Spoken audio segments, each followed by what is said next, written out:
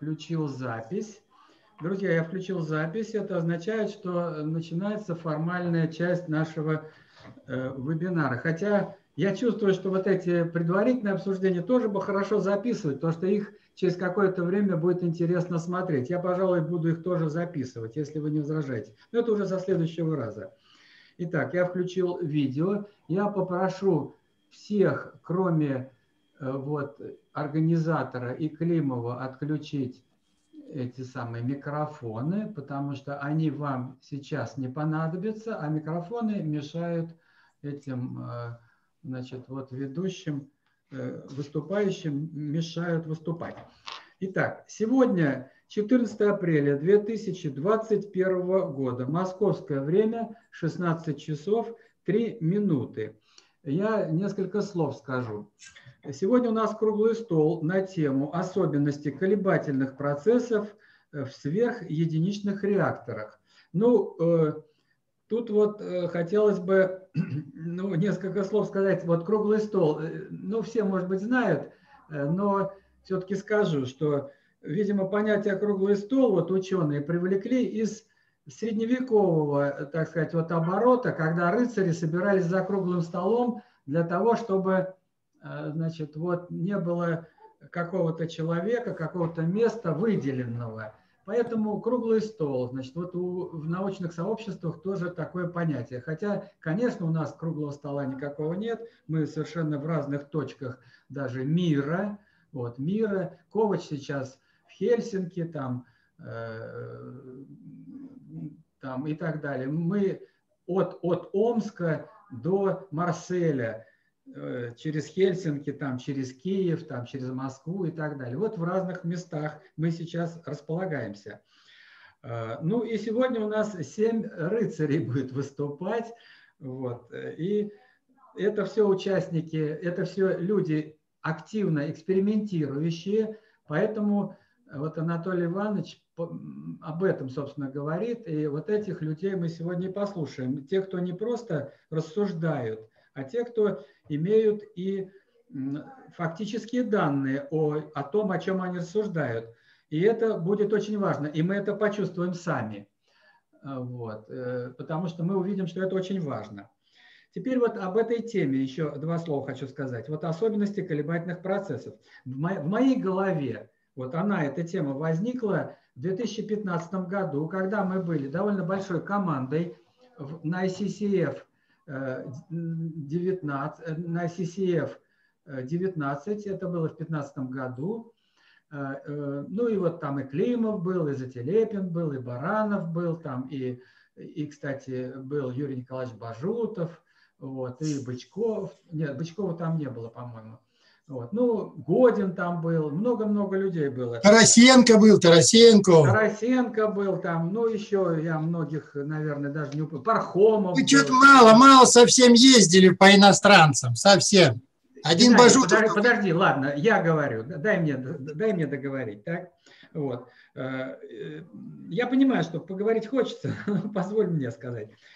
Это 2015 год. И там вот такое э, интересное интересное было выступление э, английских, по-моему, там авторов, которые, которые говорили о том, что вроде бы какое-то слабенькое, иногда что-то они там какие-то э, регистрируют радиосигналы, идущие из никель-водородного реактора. Э, я эту статью видел, естественно, они выступали там, но как-то как она на обочине была. Но вот тут надо сказать, поблагодарить Сергея Година, который, э, вот когда мы делали обзор э, э, на семинаре у Самсоненко вот этих конференций, он обратил особое внимание на вот эту на вот эту работу, и я ему благодарен, потому что она лично меня сильно подстегнула и стимулировала. И мы через некоторое время с Барановым нашли нашли подтверждение этому, во-первых, а потом и рентгеновские там и так далее, и так далее.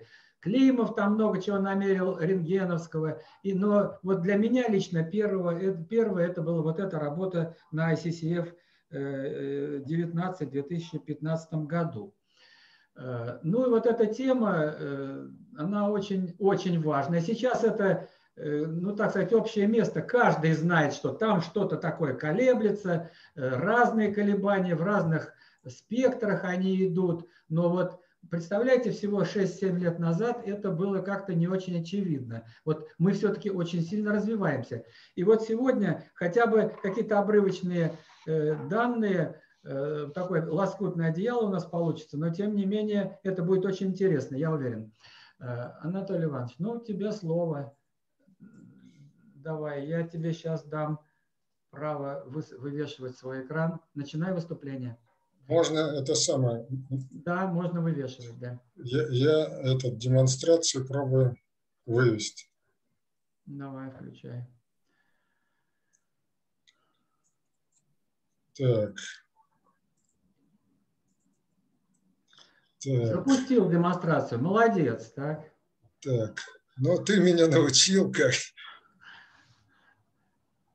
Так, теперь слайд-шоу сначала. Значит, уважаемые коллеги, ну, Валерий Николаевич затронул такой пласт э, э, очень э, мощный, я думаю, который не в состоянии ответить ни, ни один из докладчиков, э, потому что у нас у всех свои точки зрения, но вопрос правильный. То есть вот, э, значит, э, я, к сожалению, должен извиниться, значит, потому что, ну вот, последнее время э, такую презентацию, которую хотелось бы доходчиво, чтобы дошло до всех, значит, подготовить, ну, я просто не подготовил. Обычно я тщательно готовлюсь, но здесь извините за небрежность, так сказать. Вот. Но что для, для меня было очень важно? Значит, вот мы, вы знаете, что мы работаем в основном на плазменно-вихревом реакторе. Я даже здесь картинки его не привел. Вот только сейчас могу показать, что это плазменно-вихревой реактор, в котором плазма создается в газовом вихревом потоке. Ну и основным материалом кирпичик, который, собственно, ну, все мы знаем, что там а, основных кирпичиков вот сейчас в современном э, холодном синтезе, или мы еще не знаем, как правильно все это называть, направление, три.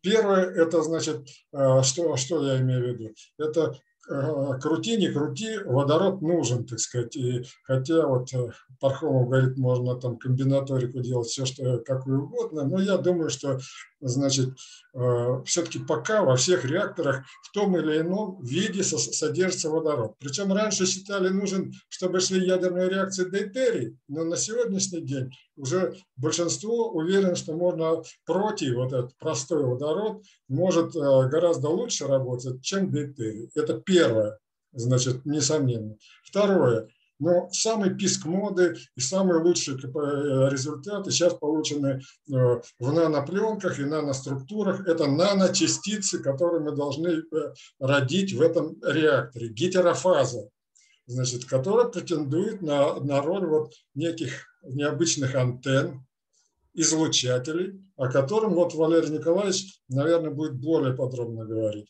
Ну и третье, значит, компонента, значит, хотим мы или не хотим, это, значит, вот некие, так сказать, реакции происходят, высокоэнергетичные, но об этом свидетельствуют те излучения, которые значит, наблюдаются. То есть вот, прежде всего это мягкий рентген.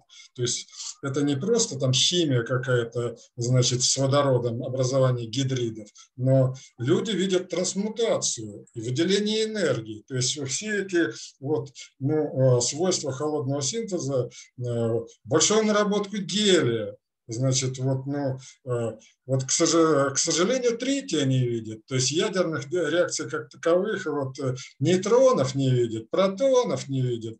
То есть вот оставляет желать сомневаться, что это все-таки ядерная реакция.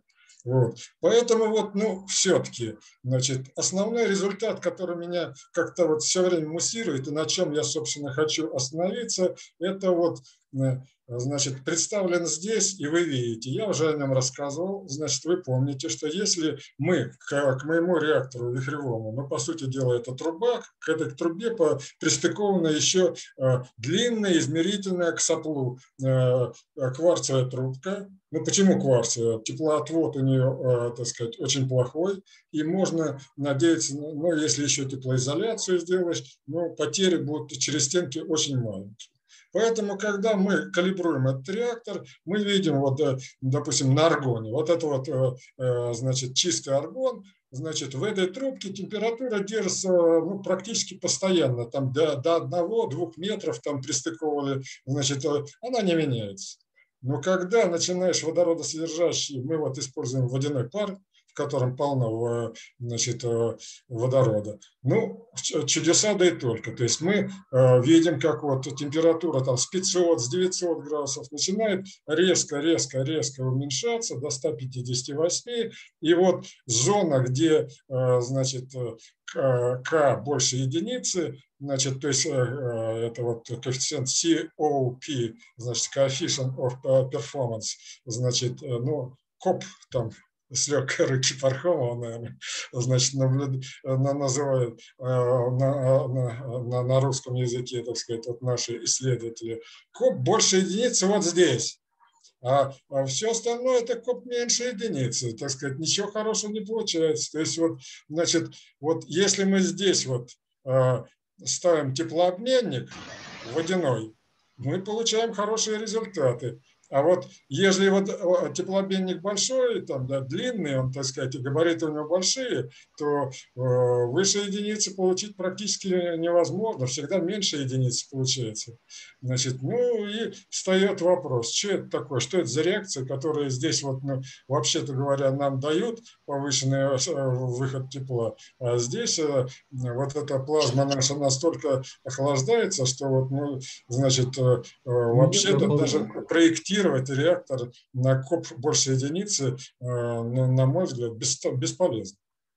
Вот. Ну и первое, что у меня пришло на, вот последнее время на, значит, и хотел с вами поделиться и посоветоваться в первую очередь, это вот, э, значит, ну, вот в нашем институте, ну, это не секрет, э, значит, вот целый, э, у нас объединенный институт высоких температур, целый институт, э, значит, вот, экспериментальной электродинамики работает над сверхматериалами, то есть материалами, которые, значит, э, метаматериалы, которые способны электромагнитные волны с ними делать чудеса, так сказать, делать поглотитель и делать вот из самолета невидимку. Значит, ставка сделана на вот эти значит, э, сверхматериалы, э, значит, с легкой руки веселага. Это вот э, эти материалы имеют, значит, эпсилон меньше нуля и мю меньше нуля. Ну, понятно, что если эпсилон меньше нуля и мю меньше нуля, то по, там, по формуле Плотинга у вас получаются странные вещи, когда вот электромагнитная волна, падая на вещество, значит, обычно, вот, обычная там, электромагнитная волна, она нагревает его, а, значит, это отбирает температуру, вот, значит, тепло, ну, я там сразу вот сюда пытался, думаю, а может быть тут э, есть генерация какого-то излучения, которого мы-то его и не сможем даже и, зафиксировать, нужны специальные антенны, вот Валерий Николаевич обратил внимание, что, так сказать, вот мы ищем в электромагнитном излучении, так сказать, где правые волны, а не дай бог, если действительно эта среда генерирует левые волны, то зафиксировать его обычными э, антенками, обычными э, приемниками будет крайне сложно. И я хотел вот немножко уделить на это внимание, что, может быть, у нас и излучается там в инфракрасном диапазоне там киловатты, но как это зафиксировать-то? Вот. Ну и вот, э, э, ну я уже сказал, эти вот вещества, эти, эти покрытия используются сейчас на современных вот э, самолетах, значит, невидимках. Вот. Ну вы видите вот здесь вот генерального конструктора фирмы Сухого, вот Лагарьков, это директор вот Института экспериментальной электродинамики, а это Фортов, наш бывший директор, так сказать, нашего объединенного института. Вот они демонстрируют этот самолет. Значит, итак, два слова все-таки о э, этих необычных волнах. Ну, вот э, понятно, что такое левые волны. Если, значит, вот у вас есть э, вектор распространения К, значит, если у вас есть, значит, H и E, то ну, мы привык, в электродинамике привыкли к правой тройке векторов, а здесь изображена левая, и вектор Поттинга направлен в обратную сторону, как я сказал. Значит, вот, э, вот это нормальные электромагнитные волны, с которыми мы привыкли работать. Это, значит, вот э, левая, э, правая тройка векторов, и вектор Поттинга направлен по волновому вектору, а это левая. Значит, ну, вот эти левые волны обладают целым рядом необычных э, э, свойств. Но вот здесь вы видите, как отражается на плотной среде значит, правая тройка векторов. Значит, вот есть угол падения, есть отражение, со школы нас учили, вот э, этот угол преломления. Так вот, для левых он выглядит так, что вот, значит, э, угол становится вот таким, как здесь нарисован. И, значит, вот он не сюда отклоняется, а уже за эту ось. Значит, вот. Ну и спрашивается, это, так сказать, ну, какая-то фантастика и изделие теоретиков, или все-таки это а, разумная вещь, когда мы используем уравнение Максвелла, но используем вот некие а, диспергирующие среды, некие, а, значит, резонансные... Э, кто там?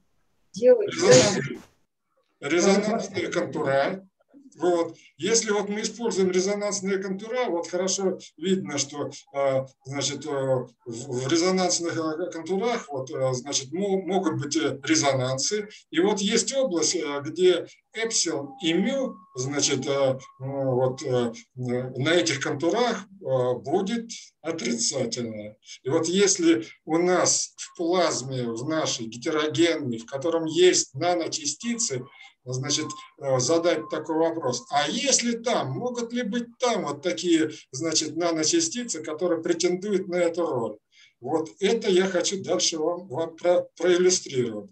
Значит, вообще-то эти контурочки, так сказать, это могут быть какие-то вот такие петельки, это могут быть простейшие вещи. Это вот, ну вот здесь вот показана серия этих контурочков. Значит, просто вот, допустим, проволочно согнутая вот таким вот образом это достаточно. Или вот вообще вот такая вот э, много-много столбиков, так сказать, э, э, наночастицы в виде столбиков. Или скрученная вот это вот, мы знаем, что есть там двойные, тройные, значит, нанотрубки, значит, все претендует на роль того, чтобы вот, это, вот э, э, так сказать, электродинамика стала абсолютно неожиданной э, для вот, точки зрения выделения энергии и транспортировки энергии. Вот смотрите, достаточно иметь линейную систему, вот плоский лист – Э, значит, вот этот вот плоский лист, э, от которого, значит, отражается левая волна, она, значит, э, если вот эти вот, значит,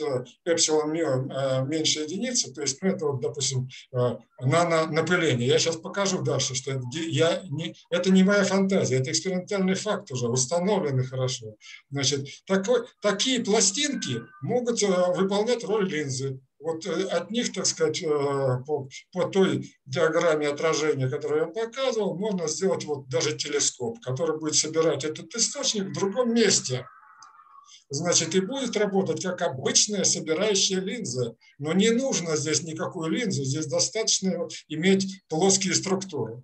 Вот. Ну и такие структуры были созданы. Вот обратите внимание, вот здесь на, на значит, подложке выложено слово «нано».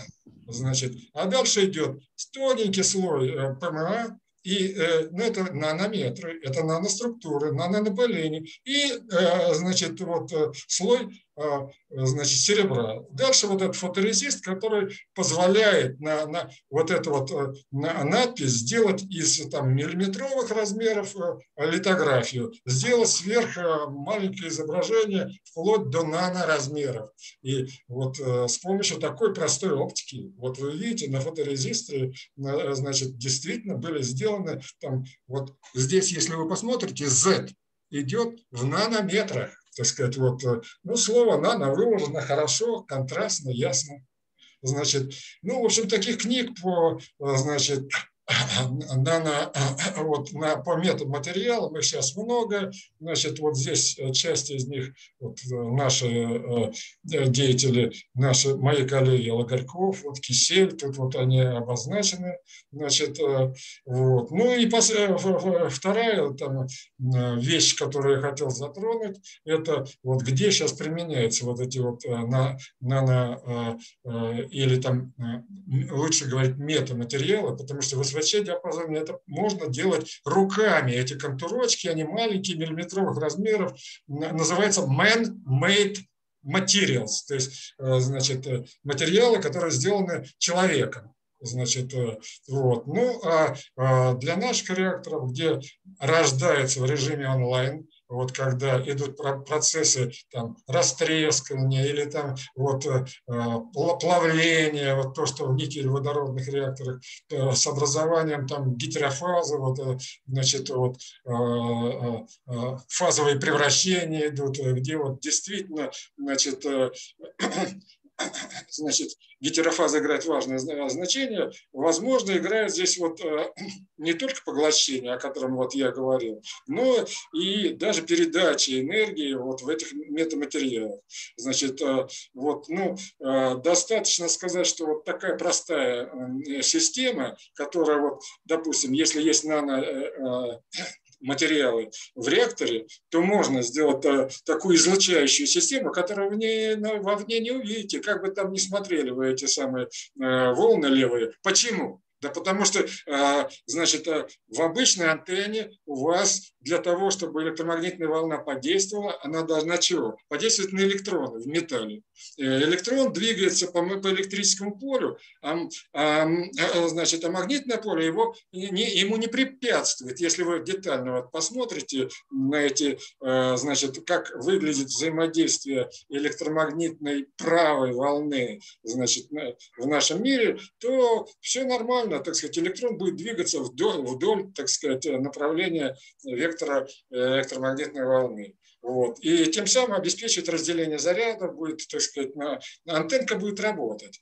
А вот когда вы возьмете этот дипольчик и попробуете принять левую волну, а ничего не получится, потому что, потому что у вас магнитное поле, наводимое движущимся электроном, она будет против направлена магнитного поля, которое будет в левой волне. Он тормозить ее будет. То есть э, это, это не будет э, значит, приемной антенны как таковой. Но если вы возьмете э, приемную антенну в виде значит, э, необычные антенны с, с нанопокрытиями, то вы можете сфокусировать эту энергию в эту вот точку, которая может находиться вне реактора, э, которая может, так сказать, э, случайно, вот та же термопара может, так сказать, выполнить роль вот этого приемника, так сказать, с оксидной пленкой, со, со всякими там причмандалами.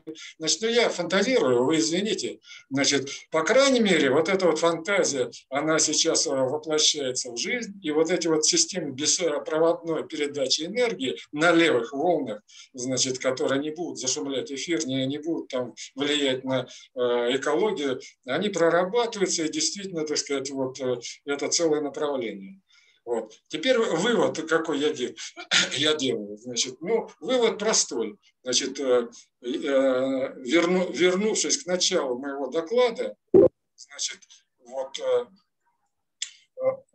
мы начали это с чего? Я извиняюсь, Валерий Николаевич, на самом деле, так сказать, надо было начать с этого, а не кончить этим. Значит, вот мы обнаружили, это еще вот хорошая находка, которая в нашем эксперименте наблюдалась, что самые лучшие результаты по выходу энергии наблюдались только тогда и только тогда, когда у нас вот э, возникали действительно, значит, вот в гетерогенной среде, а именно вот, значит, водяной пар в виде мелких капелек. И, значит, аргон, вот в этой газовой среде мы поджигали разряд и на, на, на э, электродах видели самопроизвольные значит, вот генерацию релаксационных колебаний. То есть разряд из постоянного вот с помощью такой среды, только всего лишь среды, превращался в пульсирующий значит, с амплитудой там, до нескольких киловольт. Вот. И такие мощные сигналы, они позволили, там что-то заряжалось, потом резко разряжалось. Они получили название релаксационные, значит, значит, вот, ну и если у нас средний ток был там 1 ампер, там 2 ампера, то в импульсах оно, оно могло достигать, достигать 10-20 ампер. Еще 4 киловольта, так сказать, вот амплитуда этих волн. Ну, представляете, это 40 киловатт импульсная мощность. Но мы вот начали э, промерять вокруг реактора, где же это с помощью обычных антенн, где же это излучение, а его нету. А на электродах оно есть. Значит, так вот эти вот э, осциллограммы, ну я не привел, ну извините, так сказать, э, так сказать, вот меня тоже заинтересовал этот момент, значит, э, а, а как же их регистрировать в окружающем пространстве?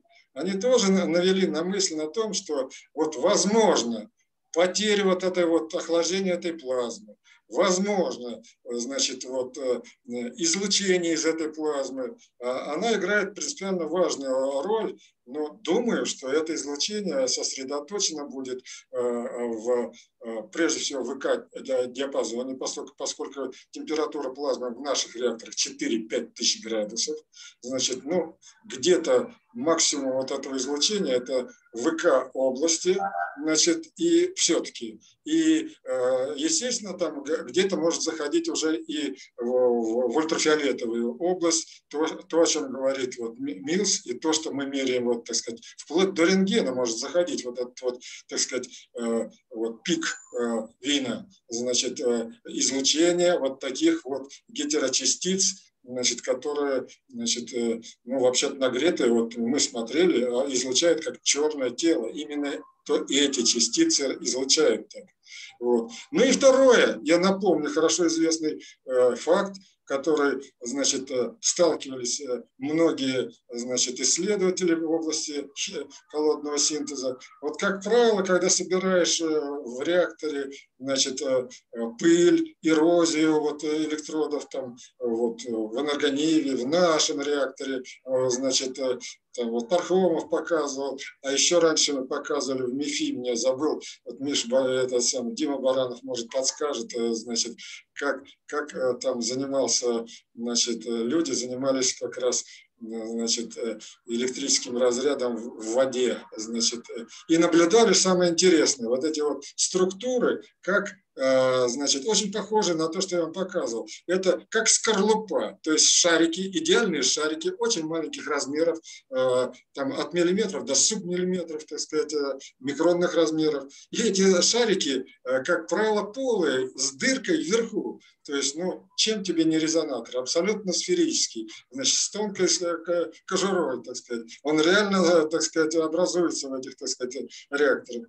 То есть, на самом деле, вот сама пыль, Э, она мало того, что от наноразмеров и выше там э, формируется, она еще и форма-то у него, так сказать, очень напоминает э, вот если вы посмотрите, так сказать, вот с нашего реактора мы как-то приводили, сравнивали эксперименты с нашего реактора под микроскопом и то, что дает коронавирус, так сказать, они такие же. То есть это вот некий вот сфера, скорлупа, а сверху прорастают иголки.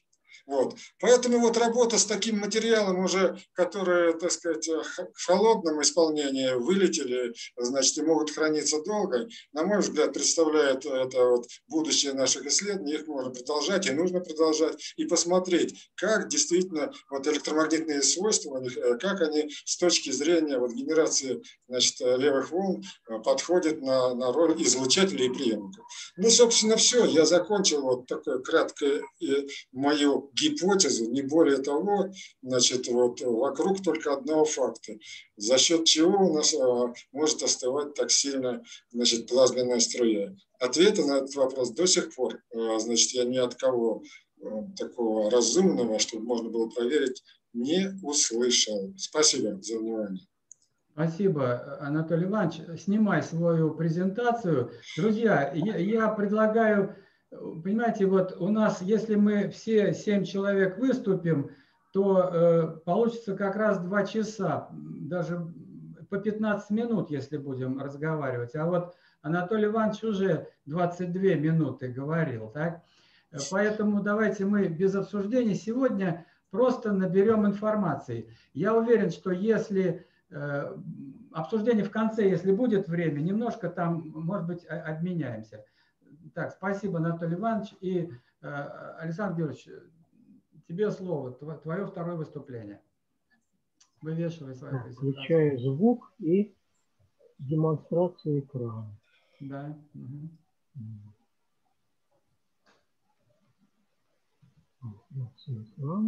Так, вот.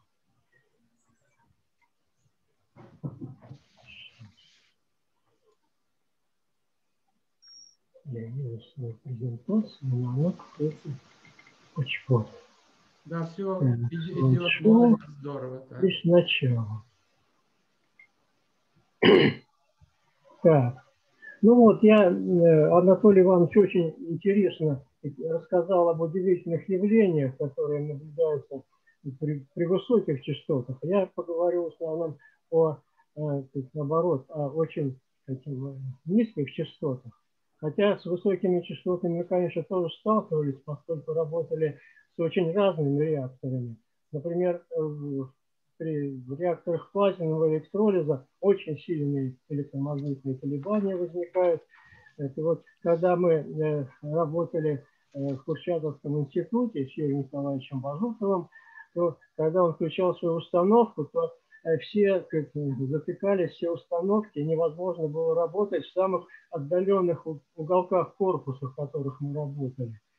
Вот. Ну, а что в основном мы работали с никель-водородными реакторами в нашей лаборатории.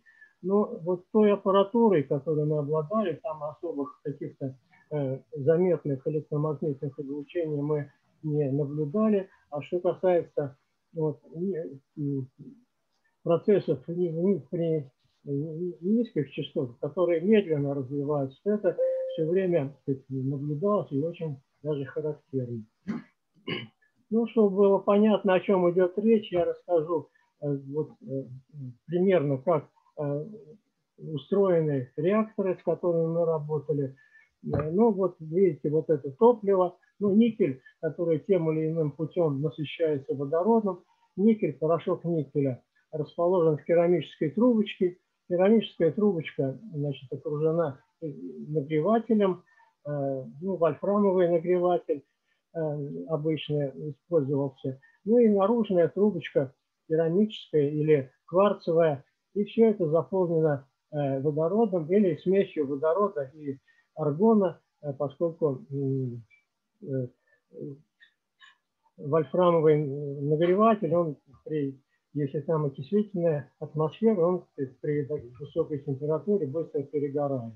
Ну, еще, значит, контролировалась температура, но для контроля температуры внутри, где она очень высокая, использовался значит, вольфрам реневая термопара, которая может до 2000 градусов работать, а снаружи использовалась обычная хромель алюминиевая термопара. Ну, в первых, в первых опытах более простые конструкции использовались, там не было наружной вот этой трубки, использовался просто э, керамическая трубочка с топливом, которая а, окружена была э, э, чехралевым нагревателем, который прямо на воздухе работал. Ну, вот посмотрим, что вот реально мы наблюдаем. А, а, вот, а как, еще, как была устроена схема электропитания? Обычно использовались э, трансформаторы, вторичная обмотка, значит, коммутируемая, что позволяло э, получать разные напряжения, разная мощность нагрева. Ну, кроме, в качестве для контроля использовались интерметры и вольтметры, непосредственно подключенные к нагревателю. Ну и на входе трансформатора использовался ваттметр, и счетчик значит, э, потребляемой электроэнергии. Ну и информация э, э, записывалась на компьютер, чтобы потом можно было все это анализировать. Ну, что касается процесса нагревания. Нагревание в простейшем случае осуществлялось просто путем постепенного повышения напряжения, путем переключения обмоток Э, до достижения такой температуры, когда начинались э, сверхединичные э, энерговыделения. И в других случаях, которые я бы не сказал о них чем-то лучше, использовался режим поддержания определенной температуры. Ну вот, значит, этот вот термоконтроллер, он выдает, когда достигается нужная температура, выдает сигнал на отключение электропитания, когда температура снижается ниже заданной, э, электропитание опять включается. Причем здесь может быть режим как двухпериционный, то есть включено-выключено, э, ну, так и более сложные пит-регуляторы, которые позволяют э, значит, подводить температуру более плавно и регулировать ее более точно. Ну, проблема здесь возникает следующая. Во всех этих экспериментах надо э, знать э, точно, какая же энергия действительно потребляется в реакторе. А, если мы значит, просто э, используем простой режим без включения и выключения, то тут все очень просто. Умножаем напряжение на ток и получаем мощность на нагреватель. Когда вот идет процесс включения и выключения, здесь уже мощность э, трудно определить, э, потому что э, когда поддерживается определенная температура, там даже нет определенной сложности между импульсами. Ну, для, можно использовать не измерение мгновенной мощности, а можно измерять расход электроэнергии за какой-то промежуток времени. Вот, это тоже так можно делать. Но в этом случае надо учитывать, конечно, потери в трансформаторе. Тоже снижает точность измерения. Ну, э, вот уже, уже как я, можно понять, что уже даже сам процесс э, нагрева, он приводит к тому, что значит, процесс становится нестационарным. Э, происходит колебание температуры только из-за того, что значит, э, меняется мощность нагрева. Но основные, самые интересные явления, они связаны, конечно, с процессами, которые происходят в самом реакторе. Ну вот конкретные примеры. Вот самый первый реактор, который, о котором я докладывал в декабре 2014 э, года, вскоре после того, как был опубликован отчет о испытании реактора Роси в Лугане.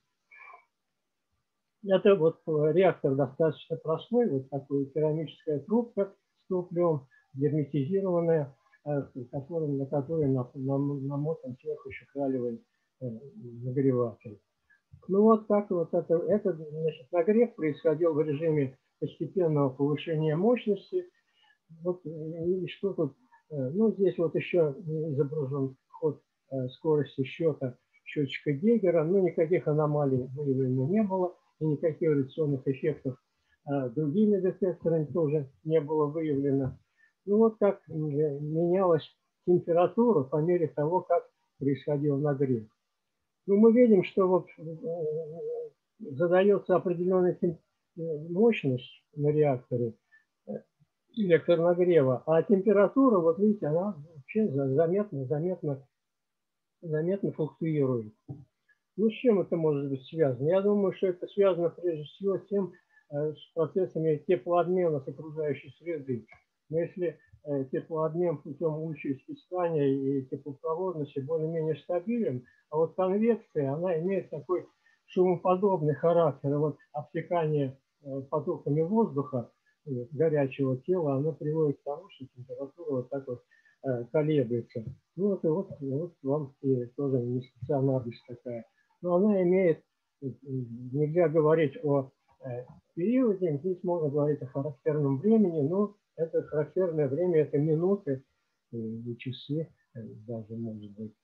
Вот здесь показано, что было на последних стадиях работы этого реактора. Вот здесь вот показана мощность, как она ступеньками повышалась. Вот, вот здесь вот еще Э, значит, тепловой коэффициент, то есть превышение э, никакого избыточного тепла не было. Когда мы подняли температуру до 1150 э, примерно градусов, вот она температура 1150, здесь появилось уже хорошее избыточное тепловыделение. Здесь тепловой коэффициент уже достиг почти двойки. А когда мы подняли температуру до, э, температура поднялась вот здесь вот до 1250 градусов. Да, здесь вообще э, тепловой коэффициент был уже 2,7. А, ну, видите, что здесь вот э, примерно такие же флуктуации идут, как и э, до того, как не было избыточного тепловыделения. А, но, значит, все-таки более-менее стабильно вот это вот избыточное тепловыделение выделялось более-менее стабильно, но вот эти вот флуктуации, связанные с обтеканием, они вызывают изменение температуры. А вот в конце, в конце, вот видите, появились такие вот уже колебания, почти, можно сказать, даже периодического, периодические с периодом там 2-3 минуты. С чем это связано, трудно понять, но, видимо, это связано с тем, что при увеличении э, тепловыделения избыточного э, происходит замедление процесса тепловыделения. Ну, и так, э, если бы у нас непрерывно было, был бы рост, э, если бы рост э, температуры однозначно вызывал бы рост избыточного тепловыделения, тогда бы реактор пошел в разгон, и все это очень быстро бы прекратилось. Здесь пошел такой периодический процесс, который говорил, что все-таки этого нет. И вот в этот момент произошло перегорание значит, э, электронагревателя. Э, и, э, что интересно, на протяжении 8 минут довольно большая избыточная мощность продолжала выделяться, несмотря на то, что электронагреватель уже перегорел. Вот. Ну вот этот реактор тоже, следующий конструкция реактора, тоже ранний реактор. Но в нем Э, он имел несколько другую конструкцию, он имел длинную трубку, что позволило и манометр использовать, и хорошую герметизацию сделать. Вот. Он проработал э, там, четверо суток, довольно продолжительный срок, но использовался, использовался в данном случае режим поддержания э, заданной температуры. Вот постепенно задавалась все более и более высокая температура. Здесь показано вот Мощность потребляемая, она тоже менялась э, скачкообразно, то есть ступенчатая. Вот видите, вот здесь вот э, флуктуации довольно большие наблюдаются при температуре вот где-то 300-400 э, градусов, 400-500 градусов. Но я думаю, что здесь происходило следующее, что использовался для производства водорода алюминий лития, который был примешан к э, порошку никеля, как раз здесь происходил, происходил процесс выделения водорода из этого порошка и поглощения водорода порошком никеля. Вот. Ну вот этот процесс где-то завершился, и более-менее уже все шло стабильно до температур, до температуры, вот пока не достигла опять-таки температура, вот видите, вот Э, примерно 1150-1200 градусов. И вот смотрите, что произошло. Вот режим, э, режим поддержания температуры 1200 градусов за день. Э, и вот это вот 1200 градусов, значит, у нас поддерживается, а требуемая для этого температура все время постепенно снижалась. Примерно в течение часа она снижалась и вот вышла на какой-то определенный более низкий уровень. Вот это наглядно говорит о том, что действительно появилось некое избыточное тепло, которое э, компенсирует то тепло, которое э, до этого надо было брать из электронагревателя. Ну и где-то да, здесь тепловой коэффициент был где-то около двойки, это продолжалось э, довольно продолжительное время. Вот как это вот на протяжении нескольких суток протекало. Вот, вот этот вот процесс, о котором я рассказал, он здесь заканчивается, и вот идет более-менее э, стабильный участок. Потом вот э, через несколько часов вдруг произошел такой вот скачок, то есть э, та же самая температура, но требуется более высокая мощность. Это значит, вот на какое-то время эффективность реактора упала. Потом она восстановилась, и потом вот такие участки стали все более и более частыми, и в конце концов вот эффективность реактора стала падать, падать, и вот здесь где-то вот электронагреватель уже перегорел. Ну, вот такие, ну вот видите, такие нестационарные процессы, которые очень медленно происходят, и, я бы сказал, непредсказуемо, хаотично, это, конечно, затрудняет работу такого рода реакторами. Вот. Ну, еще вот я приведу пару примеров, наверное, интересно. Вот это вот реактор такой, который уже не просто был голенький, а он находился в калориметре, в котором протекала вода, и по нагреву воды можно было с достаточно высокой точностью, но в пределах 200%, не более погрешность, определять, какая же мощность выделяется при работе этого реактора. Ну, опять-таки, мы, мы видим, здесь э, работа, работа происходила тоже в режиме поддержания неизменной температуры. Вот задавалась различная температура, соответственно, требовалась различная мощность для этого нагрева. Вот видите, вот здесь вот э, показана температура, вот она температура, вышла на 1200 градусов, в конце концов, поддерживалась неизменной. Вот. А пока, пока не было этой температуры, более, при более низкой температуре, вот видите, температура внутри, э, а, мощность электронагрева и мощность тепловыделения э, очень хорошо совпадали. То есть никакого избыточного тепловыделения не было. Когда температура достигла вот где-то 1000, примерно 100-1150 градусов, видите, э, э, то, что регистрирует калориметр, мощность тепловыделения, становится заметно больше мощности, потребляемой из электросети. Вот. И тут тоже, вот если посмотреть, какая, как вот происходит процесс э, выделения, выделения электро, э, выделения избыточного тепла, видите, что здесь вот такие процессы очень такие нестабильные. Несмотря на то, что ничего не меняется практически, вот здесь вот и мощность питания постоянная, температура вроде бы поддерживается постоянная, а мощность, которая избыточная, она сильно флуктуирует. Притом э, даже вот какой-то момент она скачкообразно подскочила, и, э, чуть ли не вдвое, Э, и на протяжении многих суток, а все это продолжалось на протяжении месяца, э, на протяжении многих суток было избыточное выделение на уровне 60 ватт, тогда как до этого было где-то на уровне 30 ватт. И непонятно почему, казалось бы, никаких особых причин не было для изменения. А потом, потом опять избыточное тепло Э, э, резко, резко сократилось, но эти флуктуации продолжались, и продолжались и до тех пор, пока э, нагреватель в конце концов не перегорел. Ну и вот этот вот наш рекордный никель-водородный реактор, который проработал в 7 месяцев.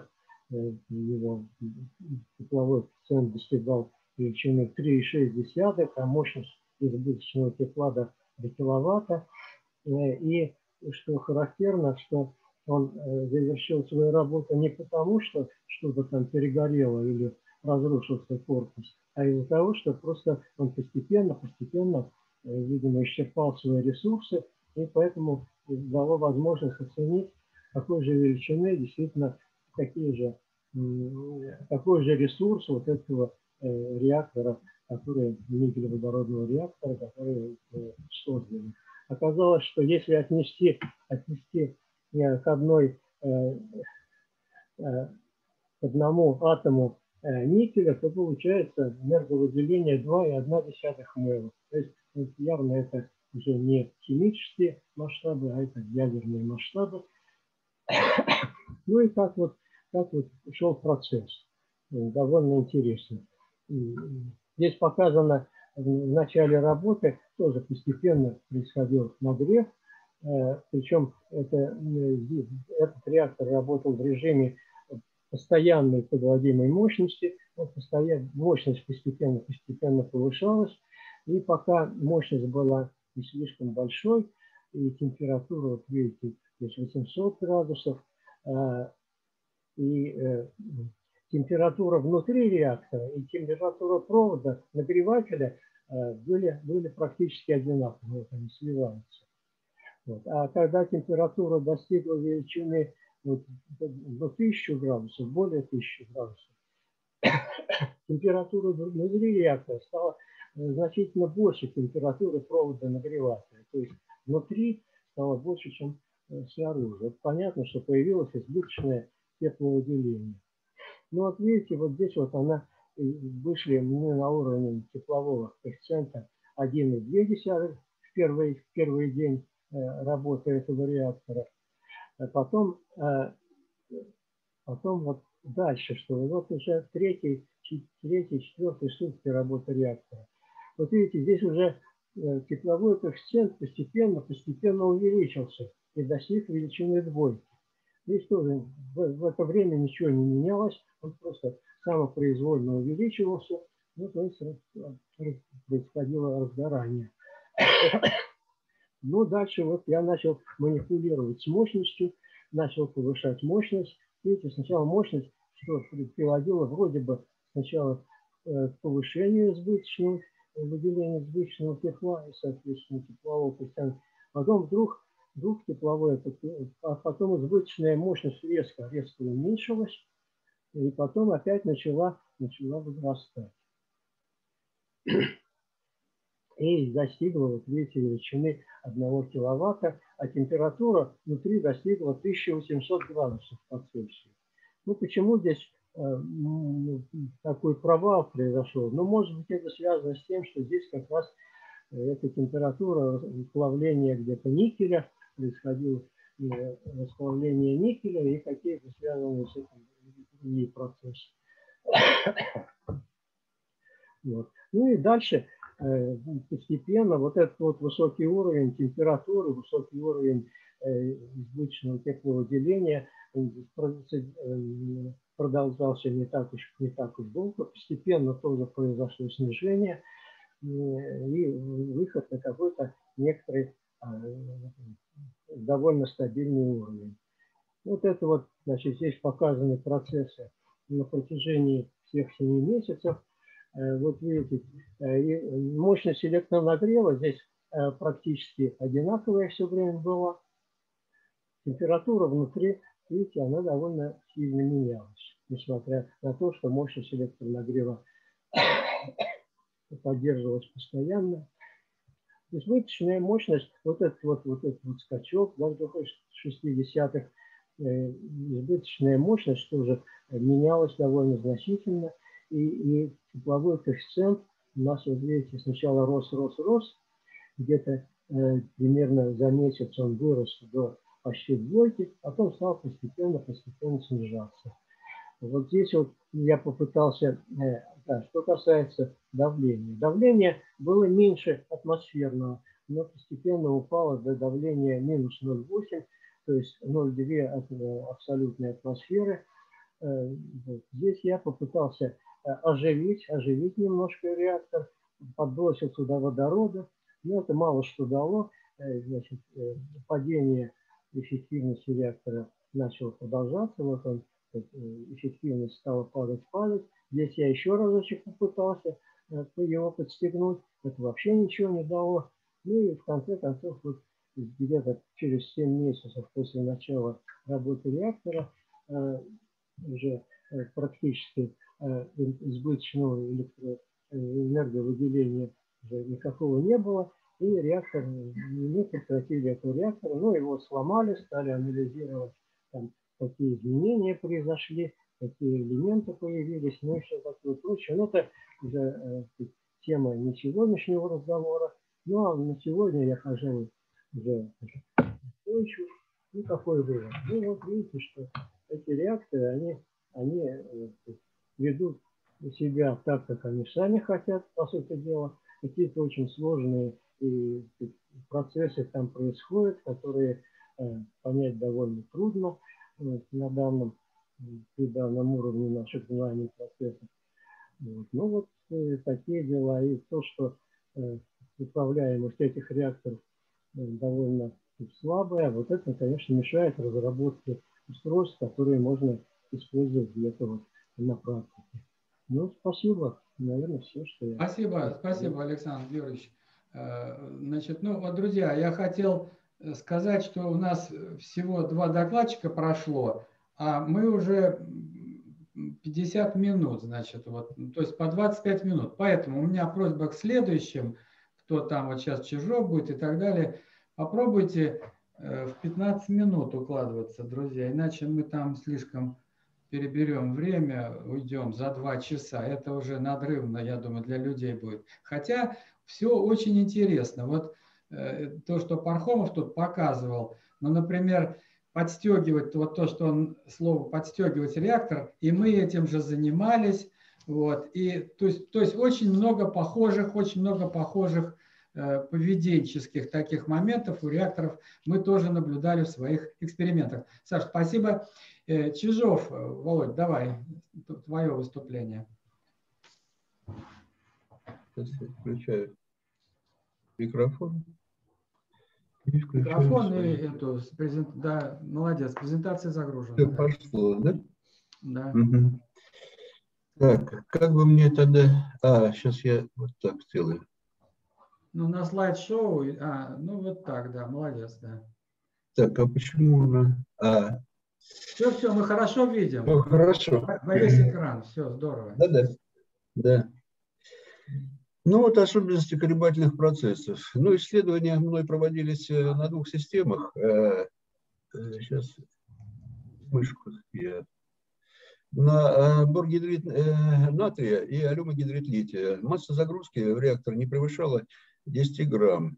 Это по никелю 0,1 моля, а по водороду из расчета 0,05 моля. Ну и температура процесса проходила где-то при 1100-1150 градусов.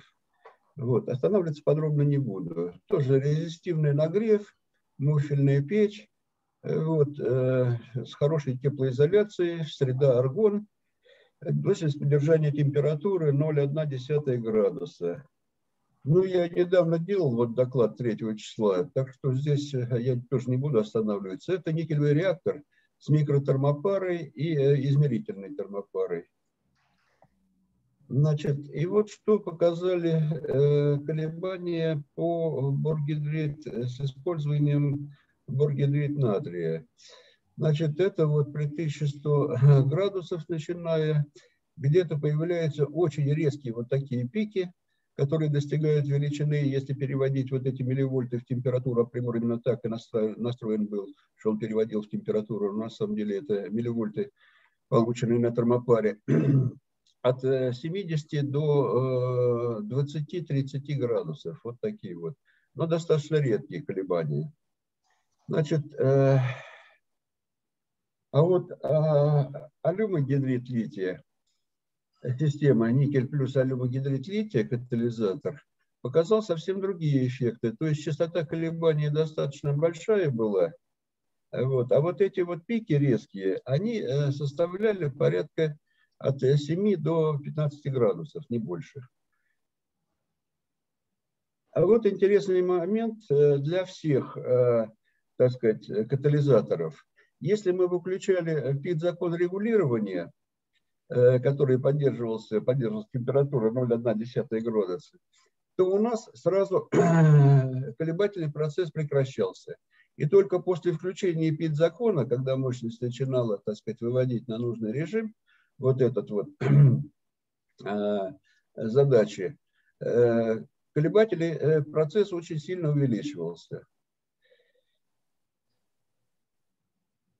А вот смешанный процесс боргидрид натрия и алюмогидрид лития показал, что колебания, э, частота их стала гораздо больше, нежели в алюмогидрид, боргидрид натрия.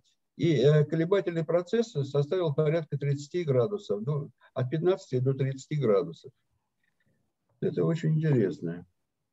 Вот. Ну вот э, работа при постоянном токе еще была проведена.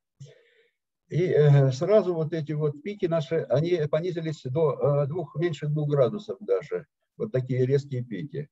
Собственно, я буду обращать внимание и попробую, э, так сказать, свое представление сказать об вот этих вот резких пиках, которые, в общем-то, меня интересовали сразу. Ну, а чтобы не было вопроса, что это наводки какие-то идут, вот без реактора и э, все термопары показали отсутствие колебаний. Вот было резкое остановление мощности, охлаждения, вот, а э, колебаний никаких не было. Вот несколько раз. Вот, э, так сказать, выключение мощности, вот это выключение мощности не показало никаких колебательных процессов без реактора. То есть это все идет от реактора. Как объяснить столь непонятный и э, очень интересный эффект фиксированной резких колебаний вот таких темп, э, э, колебаний температуры, вот эти пики? Но имея большой опыт прецизионных измерений прецизионной температуры исследований и с расплавами, и с кристаллами, измерения колебаний температуры на фронте кристаллизации, мне сразу было понятно, что это не тепловые колебания. Я связываю этот эффект э, с действием на термопару странного излучения как магнитного действия, как магнитное действие. Вот это вот э, показаны здесь треки странного излучения на CD-диске. Такие красивые картинки мы имеем. Ну, здесь надо, наверное, напомнить о возникновении странного излучения, которое доложено мной на вебинаре от 03 Э, марта. Э, суть модели заключается в следующем. Движущие силы процесса, всего процесса, который вот э, мы рассматриваем, это объемные, объемные дефекты, кристаллические дефекты типа двойниковых границ с катализатором. И второе – это образование магнитного кластера из темного водорода. Ну, модель темного водорода я уже тоже пояснял 3 числа, просто сейчас напомню о ней. Это модель э, Закрепина Баранова. Значит, это, в общем-то, вывернутый атом гелия, который имеет очень маленькие размеры, порядка 100 ферми, как они показали. Это усовершенствованный ион Барута. Вот. И вот здесь вращение, сильное вращение двух электронов создает сильные магнитные поля. А что из себя вот э, схема сама схема возникновения странного излучения. Дело в том, что э, весь процесс, эм, так сказать, диффузии идет э, гораздо сильнее по объемным дефектам. И концентрация катализатора накапливается вот в, этом, в этих объемном дефекте. Дефекте двойниковой границы в данном случае рассматривается. Но двойниковая граница э, не имеет э, четких границ. Она все время меняет свои граничные условия из фотонной составляющей. Что приводит к набиранию энергии как со стороны электронов, особенно электронов, так как они самые легкие, и со стороны протонов тоже, но в тысячу раз медленнее. Набирая вот такие вот колебательные процессы, набирая энергию, происходит образование до образования мезоатома, который способен Э, вот, э, с вероятностью проникнуть сквозь кулоновский барьер в ядро никеля и произвести там трансформацию этого ядра. При трансформации выделяется нейтрон. Но нейтрон в данном случае вот этой активной среды живет не 14 э, секунд, минут, сразу распадается на активный протон, который, собственно, и провоцирует образование вот этого темного водорода. И как только образовался этот первый темный водород, вот эти подготовленные, тоже энергетически э, сильно подготовленные электроны и протоны квантуются, переходя в темный водород. И отсюда образуется вот этот вот кластер из темного водорода. И вот давайте рассмотрим схему, которая, так сказать, вот наглядно э, представляется э, в данной системе. То есть наша термопара. И вот при пролете Э, сильного магнитного поля происходит действие на свободные носители заряда. Они разделяются, и мы отсюда видим вот это вот повышение этой температуры. Вот. Но происходить это, этот процесс может как с магнитной, так сказать, северный магнит вот здесь вот быть, так и южный. То есть и, и, и так, и так. может производить. Ну и давайте сделаем оценку параметров и данного процесса. А что можно взять за критерии? Критерием является, вот здесь у меня плохо видно, я не знаю, у вас видно или нет, вот, э, вот это вот выражение ну, из электростатики. Видно, видно. Володь, не волнуйся, видно. Ага. равняется Q на U. Да, да, да, да, да. Это, в общем-то, вот критерий, с которым нельзя поспорить. Это разделение заряда вот, на, э, при вот таком потенциале. Э, а потенциал можно определить из чего? Вот измерительная температура у нас показывала, почему я не микротермопару взял, здесь э, ошибка поменьше по объему, площади можно посчитать. Она показала нам вот изменение температуры порядка 5 градусов. Если при 1000 50, там 1100 градусов, это порядка 43 милливольта ХА показывает температуру. Диаметр этого спая 2 миллиметра. Вот. А вот дельта, которая вот здесь вот фиксируется резко, это порядка 5 градусов. А это 0,23 милливольта. То есть мы вот эту величину знаем, U. И если мы найдем с вами э, заряд, то мы сможем определить, какая работа совершилась при э, данной э, ситуации. Вот. А заряд мы можем определить, зная, что это в основном э, тут и никель, и алюминий, и хром, карамель, алюминий, но в основном здесь никель 95%. Вот. Мы можем посчитать концентрацию носителя заряда, что и было сделано. И отсюда работа получилась, вот такая вот совершается работа для создания вот этой вот э, разности потенциалов порядка 0,23, это 10 минус 4 вольта. Вот такая вот величина, 5, 10 минус 3. Но здесь, так сказать, э, это как бы э, общая работа. А из эксперимента время действия на пик релаксации значит, составляет порядка 0,1 секунды. И тогда работа, которая произведена странным излучением вот этим вот, она составляет порядка 5 четвертый во времени. И вот на этот э, критерий надо нам и ориентироваться. Ну, а вот э, сделана оценка магнитного поля. Значит, если мы знаем вот это ЭДС, 10 минус 4, вот эти вот 5 э, градусов дельта, 10 минус 4 вольта, то для того, чтобы определить вот это B, вот, мы воспользуемся, так сказать, ЭДСом самоиндукции. Что она себя представляет? Это изменение потока скоростное изменение потока во времени. Дельта у нас из эксперимента 0,1 градуса. А вот этот спай двухмиллиметровый, он площадь нам даст порядка полтора-два 10 шестой на 10 минус 6 метра квадратных. Отсюда мы получаем порядка 15 Тесла. Но для того, чтобы, так сказать, как бы по-другому еще посмотреть на этот процесс, дело в том, что вот эту величину-то я давно получил. А, были сомнения вот из-за этой вот величины 0,1, то ли есть, то ли нет. Вот. Тогда вот по эффекту Холла можно еще посмотреть. Что из себя представляет вот это вот эффект Холла? Это э, при э, прохождении тока, при наложении магнитного поля у нас происходит разделение заряда. Вот. И, э, значит, что в этом случае мы получаем? Это у нас вот известная величина 5, 2, 10, 4. Это уже можно принять как холловскую величину. Э, концентрацию носителей заряда из, то, э, из того подсчета мы знаем, э, так сказать, вот заряд известен. И V оно тоже известно, скорость движения носителя заряда в данном случае. И вот эта вот разность потенциалов, которые при 1100 градусов, это порядка 4-10 вольта. Тогда у нас вот здесь вот только вот как раз и получается. Вот. А, а вот это вот расстояние, на которое надо развести эти заряды, это вот это А. Вот, оно э, составляет 2 миллиметра. И в этом случае у нас получается 30 Тесла. Ну, вроде бы, так сказать, вот порядки совпадают. Можно сказать, одно и то же. В два раза отличаются. Давайте сравним энергетику магнитного действия. Ну вот магнитное действие, как тут посчитать?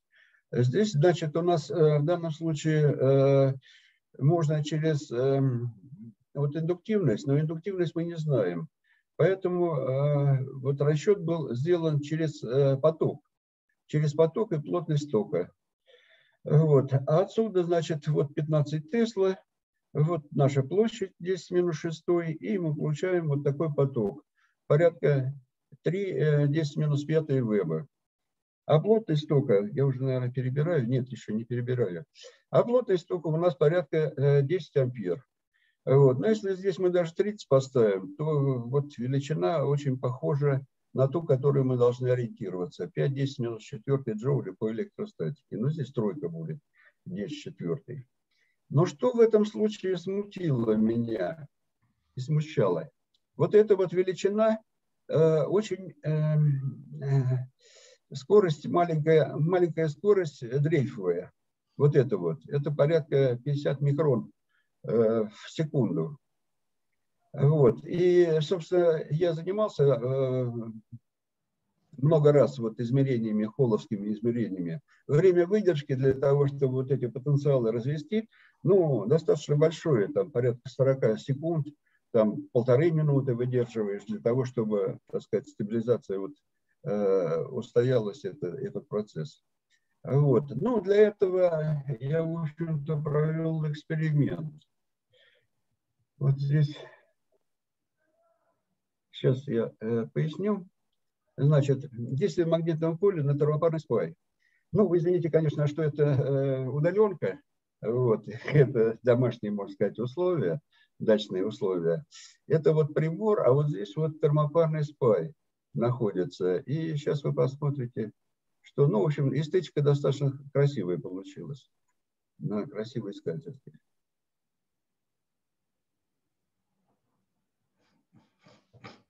Слышно, Валер? Слышно, слышно, да. Ты, ты фильм будешь показывать сейчас? Ну, немножко. Да, хорошо, давай, давай.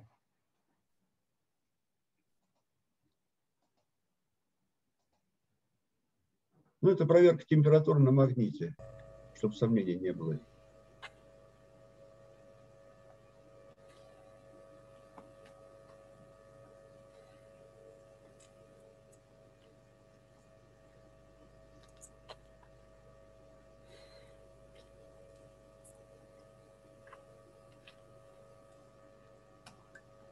Ну ты комментируй немного, потому что мы же тут ничего не понимаем, что там происходит. Это вот э, магнитным полем мы действуем на кончик вот этого, э, на шарик вот этого, э, э, этой термопары. И вот мы получили вот это значение. Ну вот сейчас интересно посмотреть на спад. А спад идет гораздо медленнее. Ну, давайте все. Значит, это прибор, и вот э, на шарик магнит, э, термопары подействовали магнитным полем. 5 Тесла. Не 15, конечно, не 30 Тесла, а 5 Тесла. И он показал, что он, да, действительно работает. У нас вот пошло увеличение вот этого... А 5 Тесла? Почему такое большое поле-то у тебя? Откуда ты взял 5 Тесла? А дело в том, что э, я неодимые магниты собрал целую кучу. Кучку собрал их вот они. 5 Тесла это гигантское. Ну, и, и, померил, и померил его. А? 5 Тесла это гигантское, ты не соберешь. А, слушай, давай Элементарно собирается, если система делается, концентрация, все это можно. Вот она, посмотри. Я тут ничего, я тоже думал, что я не соберу. Каждый магнитик дает одну Тесла. Одну десятую. Одну вот десятую. Они, одну десятую, ну, значит, 0,5 Тесла, извините. Но суть не в этом. Сейчас э, давайте э, дальше посмотрим, что получилось. Спад вот этого возмущения очень э, долгий был. Но эксперимент показывает, что по энергетическим характеристикам, как средним величинам, модель дает положительный результат, но совершенно не выживает критики по действию реального колебательного процесса. По этой модели невозможно получить вот тот пик э, короткий, который мы видим. Если фиксированной термопарой спая. Ну, наверное, здесь надо учтем то обстоятельство, что мы имеем дело не с традиционными какими-то вещами, а с нестандартным таким вот э, непонятным процессом и странным излучением, непонятным излучением. И как же можно тогда объяснить? А вернемся к модели возникновения странного излучения. Мой доклад от 3 марта, где сделана оценка параметров кластера странного излучения, состоящего из темного водорода. По-моему, все-таки одна Тесла, извините. И вот что показывает оценка, показала оценка. Это вот из, из эксперимента взя, взята э, энергетика 0,3 тераэлектрон вольта. Тогда концентрация э, носителей темного водорода, концентрация вот в кластере темного водорода должно 10 шестой быть. А вот э, диаметр его, вот этого кластера, или объем, объем это значит порядка 10, 0,1 10 десятый, минус десятый, 0,1 ангстрема. Вот его объем. А если вот так вытянуть его, то там меньше 0,1 ангстрема получается. Это я все докладывал, и были вопросы, я ответил на них. И предлагаю рассмотреть другую модель формирования пика на, на вот термопарном спае. Когда кластер странного излучения влетает в сам спай термопары. И вот здесь вот рассмотрим два варианта. Я не знаю, вот вот первый вариант, сейчас не обращайте пока на цифры, внимание, первый вариант и второй вариант. Первый вариант это когда у нас э, северный, э, северным полюсом входит в спай э, наш темный водород вот с таким маленьким размером и достаточно мощным магнитным полем. Вот. А вот желтым все время это показано бездействие вот, странного излучения. Вот он спокойно Э, так сказать, ток э, вот такой у нас, а э, электроны двигаются в противоположную сторону, как положено, от плюса к минусу ток, а электроны от минуса к плюсу идут. Это вот желтенькие вектора. Вот они, ровненькие желтенькие вектора, которые, так сказать, при данной температуре работают. Но как только мы начинаем действовать с одним направлением поля, то у нас вот этот вектор черный, он настолько мощный получается, что электрон начинает двигаться в обратную сторону. Раз из потенциалов э, становится вот отрицательный. То есть э, у нас получается э, ЭДС самоиндукции вот с отрицательным знаком. Вот. А когда у нас другим полюсом входит, красным полюсом проходит, это уже другой процесс мы рассматриваем, второй вариант, вот, то здесь наоборот, в общем-то, действие э, происходит как бы э, дополняя его, и вектор уже вот этого, он достаточно большой становится. И здесь мы уже имеем положительную добавку, так сказать, э, вот этого ЭДС. Ну, а если вернуться, я, наверное, перебрал уже, Валер. Ну, Володь, да, давай, сворачивайся, мину, минутку давай тебе добавим, так? А, давайте, да. У меня, конечно, побольше здесь. Вот если мы возьмем 15 Тесла и примем вот эту вот э, среднюю величину, которую мы получили, полтора 10 минус 4 э, секунды, то тогда э, плотность энергии вот этого нашего кластера и энергии магнитного поля кластера при объеме его 10 минус 33 метра кубических, ну 10 минус 11 у нас размер его, а в кубика, если мы соберем, это в кубик надо возвести. 10 минус 3 тогда вот эта вот плотность энергии кластера просто гигантская должна быть, и она есть, наверное, для того, чтобы создать вот эту вот среднюю, так сказать, подействовать на вот эту всю площадку, чтобы получить вот это вот ЭДС. Вот это вот. Вот. 10-29 джоуля. А время действия на спай при 50 э, километров в час, которая определена порядка 50 км в час, который определил Урунскоев, составляет порядка 10 минус 4 тогда будет, вот, чтобы пролететь вот это вот. Вот. Ну, вот я созванивался с э, Леонидом, он говорит, я не очень уверен, это давно все-таки было, может быть, там, ну, вроде бы как э, подтвердили, так сказать, э, иностранцы, что скорость действительно небольшая, он заинтересовался этим. Но он из эксперимента вот это определял. И таким образом можно объяснить вот такие вот резкие пики действием вот такого. А классическое действие здесь не подходит. Вот. Ну а здесь я хотел еще показать вот э, формирование трека странного излучения, модельное представление и его возникновение. Очень интересно. Посмотрите. Володь, ну это же уже к нестационарным процессам. А, да, а, да, а давайте вот посмотрим. Вот магнитные шарики я взял.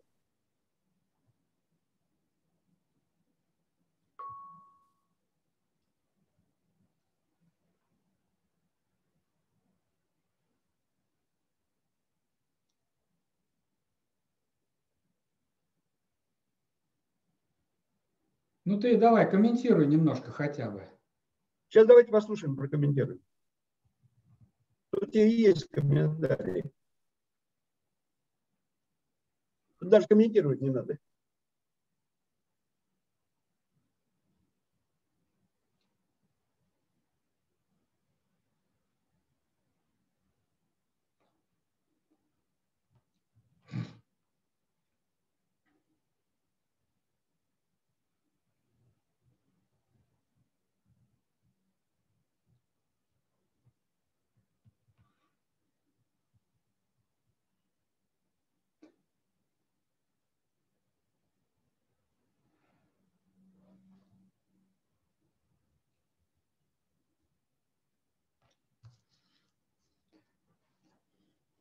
Володь, давай, давай, заканчивай, потому что уже сильно перебрали вообще время, так? Ну, тут понятно, слепилось в шарик, все, это понятно, так? Да, да, да, да, да. Это понятно. Ты хотел показать... Который вот является вот этим поршнем, который, который является уже вот этим поршнем, который затягивает сюда воздух. Вот чего я хотел показать. Формирование вот этого э, да, все, я закончил. Колебательные процессы объяснены из темного водорода и двойниковой границы. Две модели использую. Выражаю благодарность руководителям Московского завода физприбор Серджигову и Сафонову руководителям за поддержку проведения представленных исследований. Спасибо за внимание. Спасибо Чижову. И, э, значит, слово, ну, Андраш, your, your, your move, please show your presentation. Okay. А как мне выйти, Валерий Николаевич? Ну, у тебя там красная должна быть такая. А, остановить демонстрацию, да? Да, да, да. Все, все, все. Ага. Андраш, okay, we, we see your presentation. Okay, I, I will go full screen. Okay. Okay. Do you do you see now the whole screen? Yes, full full screen. We, we okay. see full screen. Okay. Okay. So so my presentation is called uh, temperature controlled uh, oscillatory and runaway processes. Uh, here is the uh, picture of the reactor that we have been using. And uh, we had a metallic uh, fuel so in uh, contrast to what Mr. Klimov said, uh, our reactor is special because we did not have uh, hydrogen or deuterium, uh, only maybe trace amounts. So in our fuel, we had 10, 15 grams of uh, copper nickel alloy. This was Constantan and between half and one gram of lithium. And, and this was assembled in air. So there was trace amounts of moisture, but this was done uh, during winter and there was a low, low moisture content uh, in the air.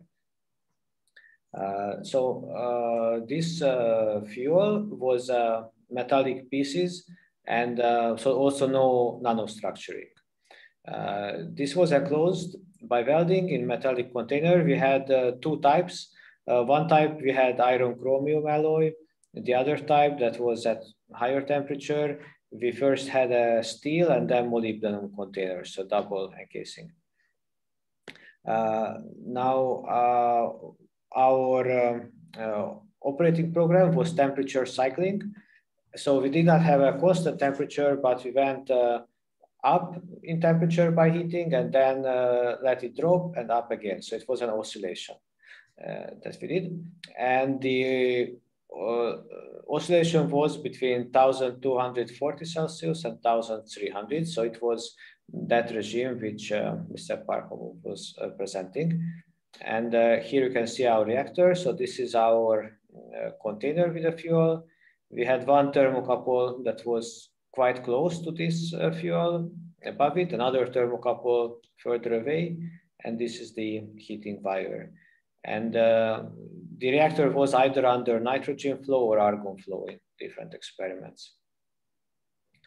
Uh, okay, so here you can see the evolution uh, during temperature cycling in our best run. The, the gray is the calibration, there was no fuel. So you can see that we heat up to 1300, it let it cool, heat, cool, and the gray curve is just um, oscillating always up to 1300.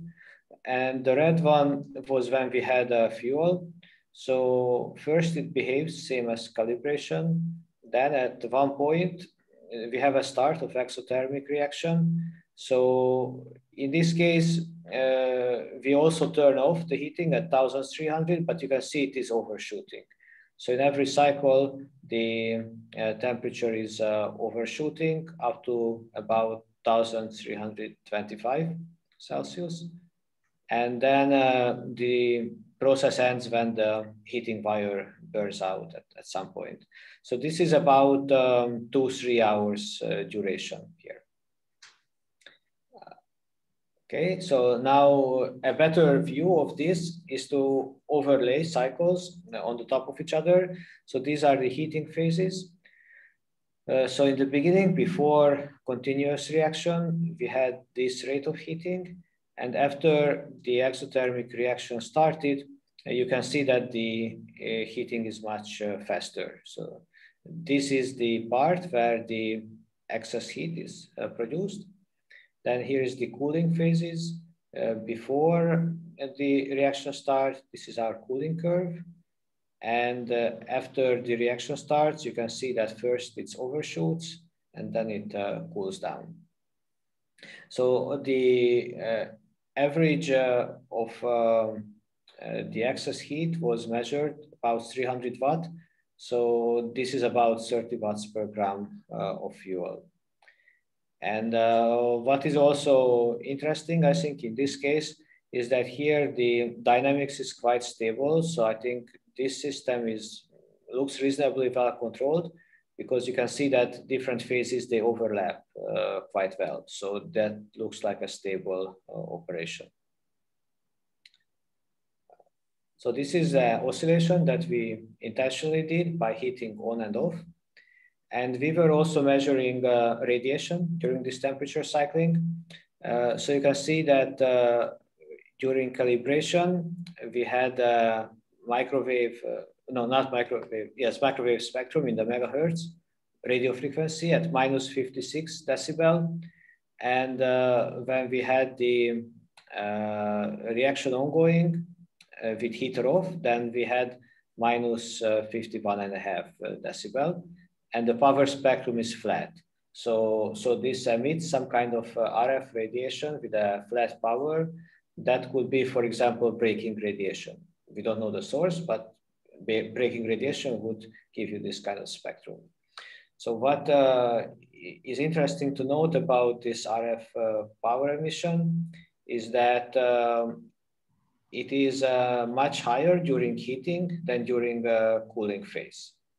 So, uh, so that means uh, that somehow it's similar than what we observed with the heating, because um, in my analysis, also the heat production was faster during heating than during cooling. And same for RF, that RF is also higher during heating than during uh, cooling. Uh, we also measured gamma radiation, but uh, we did not uh, uh, detect any gamma radiation, the spectrum was same as the background. Also, we had uh, some occasional temperature jumps that are picked up by the thermocouple. So uh, here you can see an example that uh, this is a slow change in the temperature and then uh, suddenly temperature jumps almost 10 Celsius and then goes back. Now, based on Mr. Chishov's presentation, we of course have to question ourselves. You know, is this uh, um, is this real temperature jump, or is it some uh, strange particle that uh, was flying into the thermocouple? This this is a big question. Uh, here is another example. You can see a continuous uh, heating and then a temperature jump here. And the power, heating power is of course the same during this process. Okay. Uh, now, uh, the previous uh, slides were showing the stable operating regime, but also just by increasing temperature, the reactor can go into a runaway mode. So here is a slide of that. So we were just uh, increasing the temperature with constant power and uh, the heating curve goes more flat just because as temperature goes up, then there is a faster cooling, but the heating power was actually uh, the same. And uh, these two curves are the two uh, thermocouples. So one thermocouple is uh, more close to the reactor, uh, other thermocouple is more far from the reactor. And then uh, you can uh, you can see that at some point you you have a process that is starting this kind of oscillation process. And in my opinion, uh, this uh, oscillation that you see here is a radio frequency noise. Uh, the reason why I think so, you can see that it's very synchronized between the two thermocouples.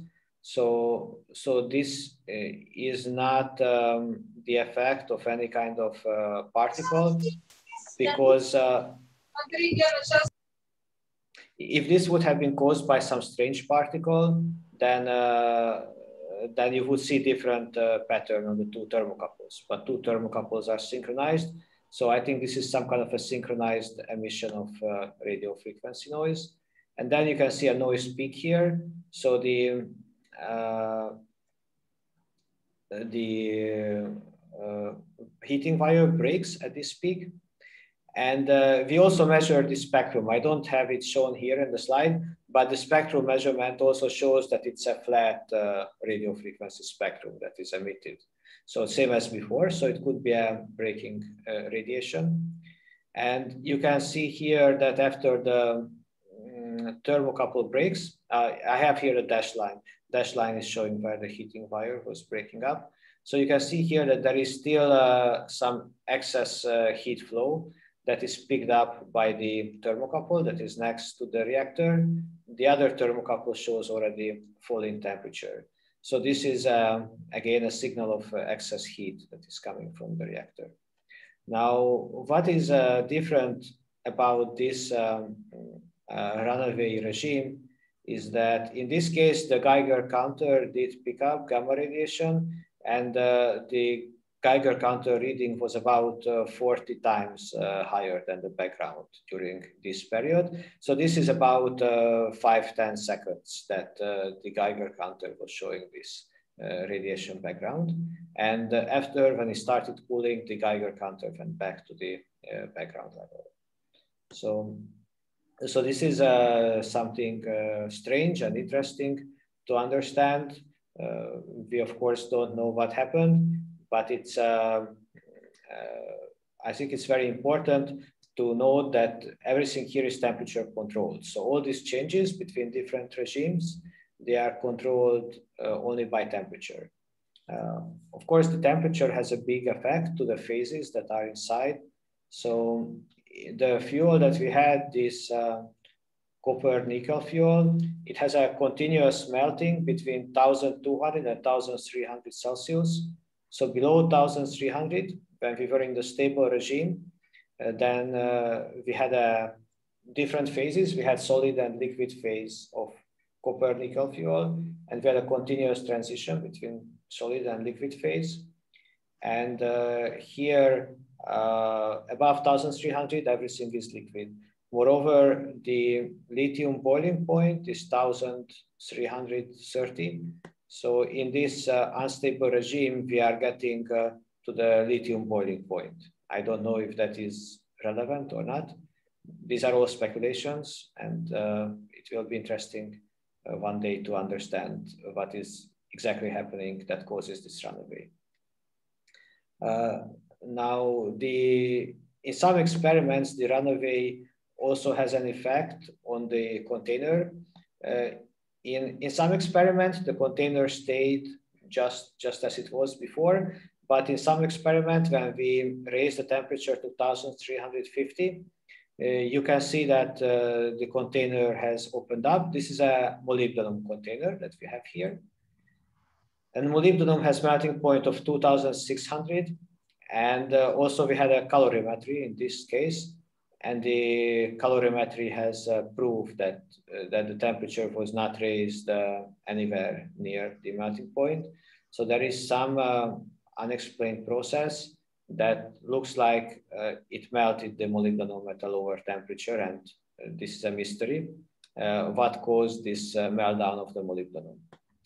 This is a, from another experiment. Here we had the iron chromium container, and you can see that uh, some process uh, looks like with a metallic geyser. I call it metallic geyser that erupted from the iron chromium container, and then it froze. So this is the frozen metal geyser. And maybe these two processes are the same. Uh, so this is a question, what is causing uh, these uh, events that look like meltdown of the metals at a lower temperature than the melting point. And, and how is that related to all the phenomena that I was showing in the previous slides? So that is uh, the end of my presentation. Thank you for the attention. Andras, thank you very much. Uh, thank you very much. Andras, what Andras как настоящий. Andras, I, I, I, I wanted to say some words about your presentation in Russian. Okay. okay. Uh, but in organizing of your presentation, not, not, not a main ideas, but on organizing. Вот я хочу сказать, что Андраш внимательно прочитал мое объявление о проведении вебинара и понимал, что э, нужно уложиться в 15 минут. Вот он уложился в 14 минут. А вот наши русские, значит, российские исследователи, они вот читали, что-то читают, но по 20, по 25 минут. Вот, вот различие. Андрей, thank you very much for your presentation. Oh, very interesting. Так, спасибо Андрешу. Сергей Годин, пожалуйста.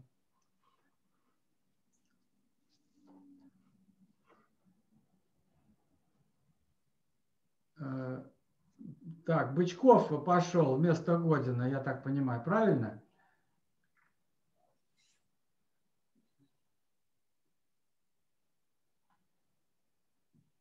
Володь, включи, пожалуйста, звук. У тебя звук выключен.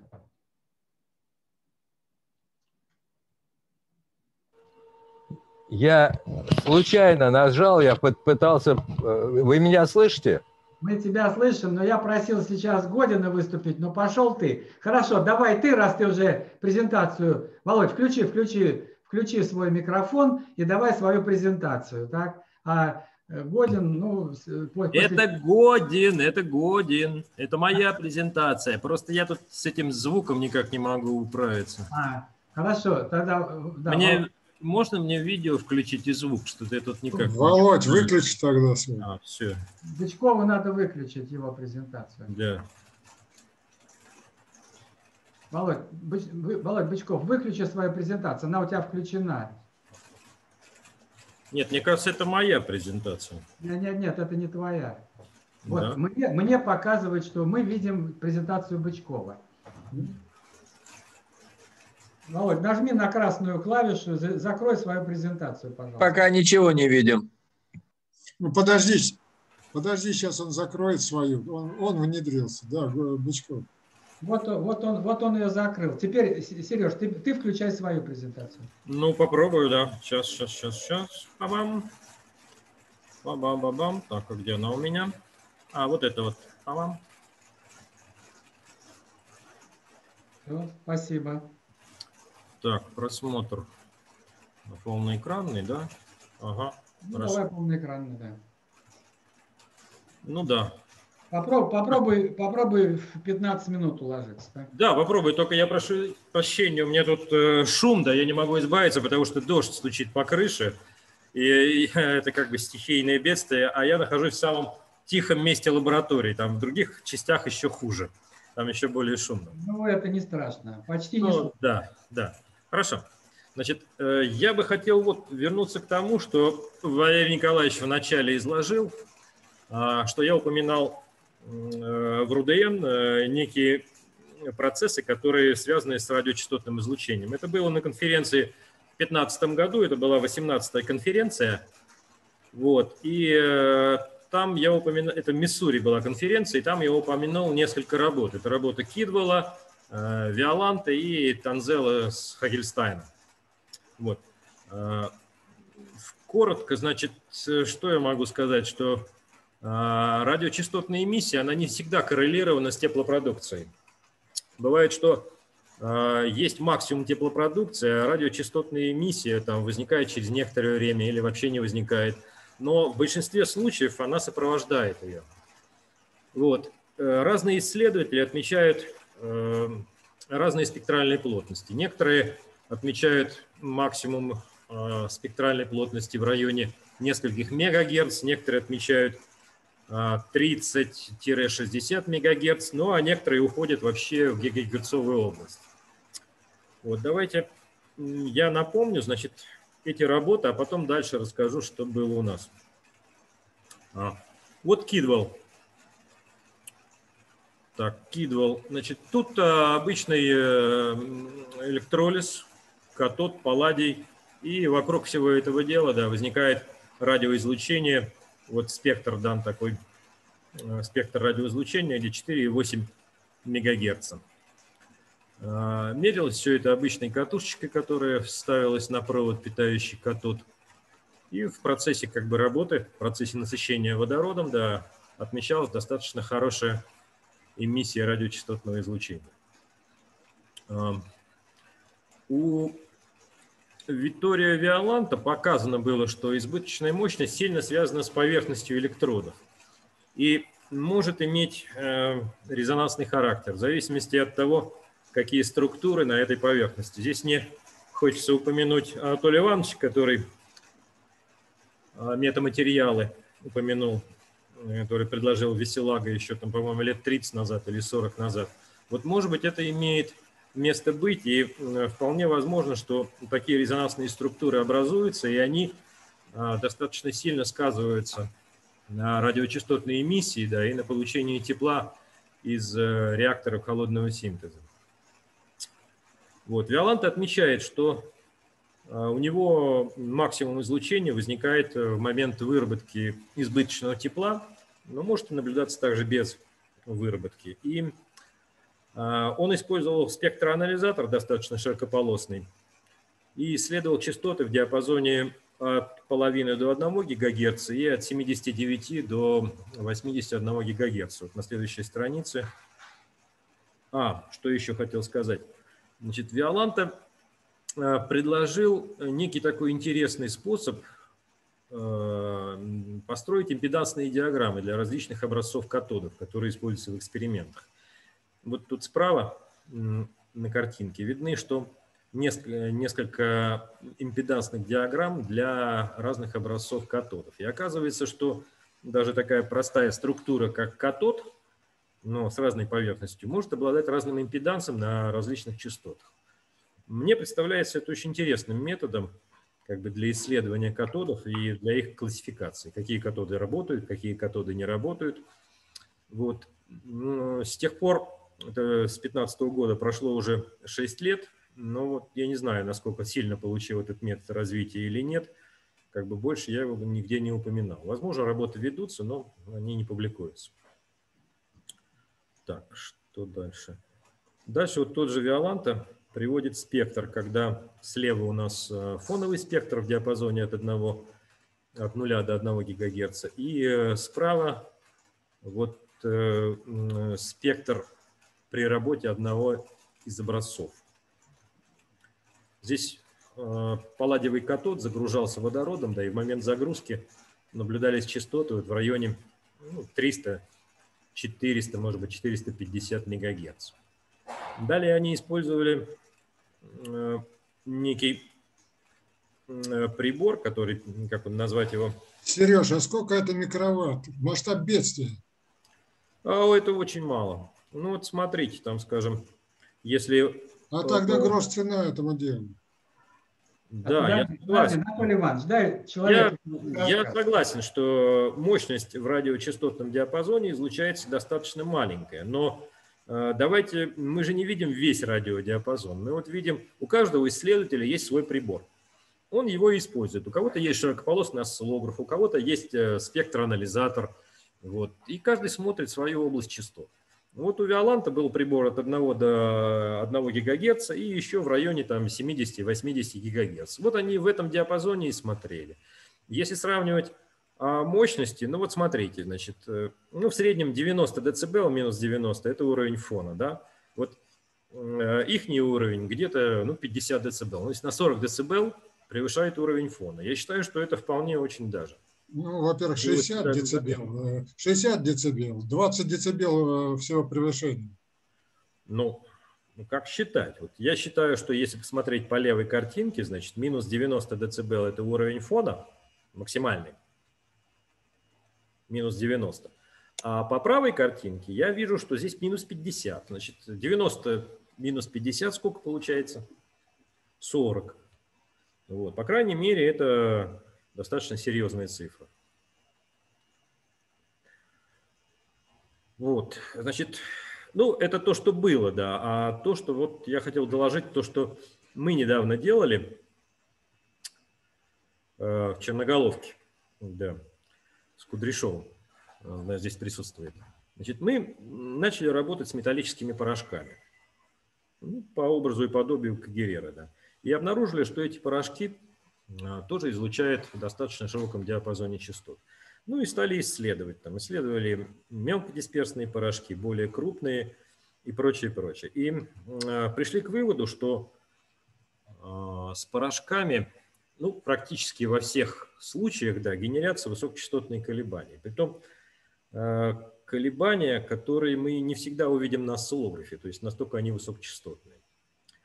Значит, что мы делали? Мы брали значит, обычный шунт, ну, по закону Ома, да, и на нем мерили напряжение и таким образом оценивали проходящий ток. И э, второе, мы использовали ток, токовый датчик компании Tektronix. А, по сути дела, это токовый трансформатор. Вот. И попытались сравнить два этих сигнала. На один и тот же провод их вешали, эти два датчика, и смотрели, чем сигналы отличаются друг от друга. И вот, э, ну вот, кстати, на картинке, да, а, слева вот здесь э, резистор 0,1 Ом расположен, а вот это вот датчик токовый на провод одет, это Tektronix. Значит, что получилось? Вот если рассматривать картинки слева направо и сверху вниз, это как бы временное разрешение разное. На верхней картинке левой 200 микросекунд в клетке. Вот на этой картинке, на следующей, 20 микросекунд в клетке. Следующая еще на, в 10 раз имеет большее разрешение, 2 микросекунды. И на последней правой картинке 200 наносекунд. Вот желтый луч – это сигнал стокового датчика Tektronix. Значит, хочу заметить, что а, по паспорту этот датчик имеет полосу пропускания в 120 МГц. То есть все высокочастотные колебания он должен был видеть. А что мы реально видим? Мы реально видим, что на датчике Tektronix высокочастотных колебаний нет. Есть хорошая, красивая, низкочастотная такая вот огибающая. И эта огибающая также присутствует на датчике обычном токовом, на токовом шунте 0,1 Ома. Притом хочу сказать, что токовый шунт 0,1 Ома, он хорошо согласован с кабелем, там как бы все волновые сопротивления подобраны для 50-омного кабеля, никаких переотражений там не должно быть. И вот получилась такая вот небольшая загадка, что вроде бы на одном и том же проводе, но один датчик нам показывает такую гладкую кривую, а второй показывает ту же самую гладкую кривую, но еще на ней э, накручены вот такие вот высокочастотные вспышки. Что еще хочу сказать, что ну, скажем, мы проводили разные трансмутационные, ну, вернее, эти самые спектральные измерения элементов, которые получаются в этой установке, и а, нашли такую корреляцию, что когда у нас есть в установке высокочастотные колебания, у нас появляются дополнительные элементы, то есть происходит трансмутация. Когда у нас высокочастотных колебаний нет, а, трансмутации практически нет. Вот. Что, собственно говоря, дальше было выяснено. А, ну, делались разные предположения, думаю, что это за колебания, откуда они могут взяться, да, и как это они возникают, и механизм генерации не очень понятен. Как э, в, таком, в такой гетерогенной среде э, из воды, из разрядов и э, мелкого металлического порошка могут возникнуть такие колебания, притом и в низкочастотной области, и в высокочастотной области. И мы пришли к выводу, что все-таки вот эти вот высокочастотные колебания, они являются электромагнитными колебаниями, которые просто проникают через оплетку кабеля. Вот, к слову сказать, рядом с установкой нельзя было ставить ни один а, нормальный осциллограф, потому что они э, на расстоянии метра все сбивались абсолютно. То есть компьютер сбивается, осциллографы, генераторы. То есть вся наша аппаратура, она на кабелях немножко относится в сторону и работает в стороне, потому что слишком велик уровень помех. Какой э, характер этих, этих помех? Ну вот высокочастотные импульсы. Эти высокочастотные импульсы проникают через оболочку кабеля, через корпуса приборов и прочее. Значит, Сережа, сожалению, а полоса, а полоса осциллографа какая, ты не сказал? 100 мегагерц. Это тектроник 100 мегагерц. То есть он хорошо согласован с датчиком, да, и кабель соглас, в согласованном режиме используется, так что здесь все корректно. Вот, значит, э, к сожалению, у нас нет такого широкополосного спектра анализатора. А, кстати, у нас была попытка заказать в Китае такую игрушку спектроанализатор до 6 ГГц, но почему-то это оказалось запрещенным товаром. Да, и этот товар не разрешили нам купить. Просто достаточно дешевая игрушка, там, в районе 150 долларов, да, которая могла бы показать нам спектр до 6 ГГц, от 30 МГц до 6 гигов, но вот это запрещенный товар почему-то в России. Вот, ну, как бы взяли то, что у нас было. А что у нас было? У нас была такая, а, скажем, петлевая антенна. Вот здесь на следующей фотографии показано, как рядом с нашим реактором установлена петлевая антенна. Фактически это СВЧ-детектор. Он тоже хорошо, хорошо согласован, 50-омный. Да. Вот эта петлевая антенна принимает сигнальчик, дальше он детектируется, и на осциллограф поступает уже чисто продетектированный сигнал. Значит, э, чтобы оценить спектр, ну, как мы пробовали? Мы брали сотовый телефон, обычный GSM стандарт, это 900 мегагерц, 900, ну, по-моему, 1200 мегагерц.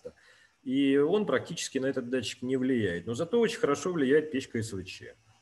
Вот, печку СВЧ эта штука чувствует, да, очень даже хорошо. Значит, можно сделать вывод, что начиная, там, скажем, с полутора, с двух гигагерц, этот датчик уже чувствителен э, к высокочастотным колебаниям. Значит, что мы получили? Ну, э, такая же, собственно говоря, картина. Э, есть у нас э, датчик тока на основе шунта. Это вот такой бирюзовый луч. И датчик на основе СВЧ. Детектированный СВЧ-сигнал – это желтый луч. Вот опять по такой же методике есть сравнение слева направо и сверху вниз тоже в разном разрешении. Значит, ну, вверху вы видите, это 1 миллисекунда в клетке, потом 10 микросекунд, 1 микросекунда и 100 наносекунд. Вот э, на 100 наносекундах очень хорошо видно амплитуда этого высокочастотного СВЧ-сигнала. То есть он достаточно огромен по сравнению с обычным сигналом, там 100 МГц, я не знаю сколько. Вот осциллограф его не в состоянии воспроизвести. А датчик СВЧ его чувствует. Значит, э, какой у нее максимальный спектр? Ну, пока не могу сказать. Может быть, со временем мы достанем спектроанализатор, и тогда точно э, проведем измерения. Хотя диапазон частот может простираться и в терагерцовую область. Поэтому тут нужен, наверное, целый набор приборов. Тут могут быть и терагерцы, и, э, может быть, даже и свет. Кстати же, некоторые исследователи отмечают свечение своих реакторов. То есть вокруг реакторов, в частности, вокруг энергонивы тоже свечение наблюдалось. Поэтому можно говорить и о генерации э, в видимом спектре, и даже в рентгеновском спектре. Ну, рентгеновский спектр, конечно, мы знаем, что из работ Анатолия Ивановича мы знаем, что рентгеновский спектр присутствует во всех этих электрических и плазменных системах, ну, где используется электричество. А вот, э, скажем, э, где не используется электричество, вот, пожалуйста, есть такая работа. 1905 года э, сверхвысокочастотное излучение при горении термитных смесей. Вот было обнаружено, что в обычной стехиометрической смеси да, оксида железа с алюминием генерируются прекрасно э, частоты 3,4, 3, в районе 3 и 40 гигагерц. Значит, человек э, имел тоже достаточно узкополосный прибор, и поэтому он анализировал две области, там в районе 4 и в районе 40 мегагерц. Вот показаны, значит, его результат.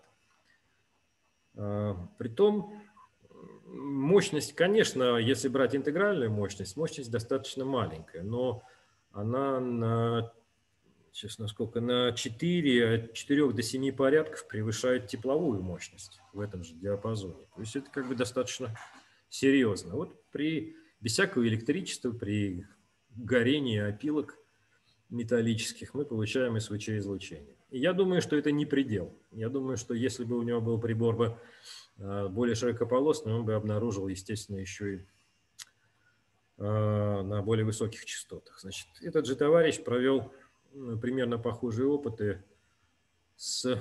Ну, я не буду говорить про вероятностный механизм, хотя, наверное, можно сказать, что э, основным вопросом, а за счет какого механизма физического это генерация эти высокочастотные электромагнитные волны, вот он считает, что они генерятся за счет свободных электронов, вызванных столкновением с ионами и нейтральными атомами газовой плазмы. Когда э, вся эта область термитная превращается в газовое облако, и именно газовое облако является генератором такого рода излучения. Вот то же самое, как вот в опытах Анатолия Ивановича. У него рентгеновские излучения максимально не между электродами находится, а на выходе, где, является, где появляется большое количество нанокластеров и прочих образований. Видимо... Сереж, ну вот ты, они ссылаются 150 электрон вольт, они электронные пучки получали. Ты забыл упомянуть это. Электронные пучки регистрированы. Ну, Правильно, но здесь просто горит кусок металла и все. Нет, ну электро... вокруг была внешняя плазма, в которой они намерили электронные пучки 150 электрон вольт. Но они и будут их генерировать. Да. Ну, это, это детали, как бы это можно опустить. Нам сейчас главное, что даже в простых процессах, да, горения металла и восстановления, в простых химических реакциях происходит э, генерация высокочастотных колебаний. Ну, я хотел еще дальше упомянуть, что этот же товарищ Э, в таких же примерно процессах, но в процессе синтеза титан-бор, э, в реакции самораспространяющегося синтеза, было намерено и рентгеновское излучение. Примерно э, оценка энергии была сделана, примерно это 5 килоэлектрон-вольт. Это очень хорошо совпадает с теми значениями, которые получаются у Анатолия Ивановича. Вот как бы схема где поджигается маленький, маленькая кюветка с порошком, этот порошок превращается в газовое облако, и в этой камере, притом в вакуумной камере, да, стоят и детекторы, э, этот самый фотоэлектрическая сборка, и стоит э, дозиметр гамма-излучения, который ничего не показал. А вот э, по засветке фотопленки, здесь вот под циферкой 8 она обозначена была, Э, по засветке фотопленки э, они оценили энергетику. На фотопленку клали э, различные кусочки пластмасс, которые задерживали излучение определенной энергии. И примерно так удалось определить, что энергия этих рентгеновских квантов лежит между 4 и 7 килоэлектрон-вольтами. Ну, они взяли 5, так, среднюю величину. Так, ну, в принципе, все, я как бы постарался уложиться. Спасибо за внимание. Спасибо. Ну, ты на 4 минуты протянул, но... Ну, но тут немножко... Это вопросы, это вопросы меня отвлекли. Вопросы отвлекли, правильно. Спасибо. Спасибо. Володь Бычков, пожалуйста. А ты снимай свою... А, здорово. Да, да, да. Володь Бычков, давай свою презентацию.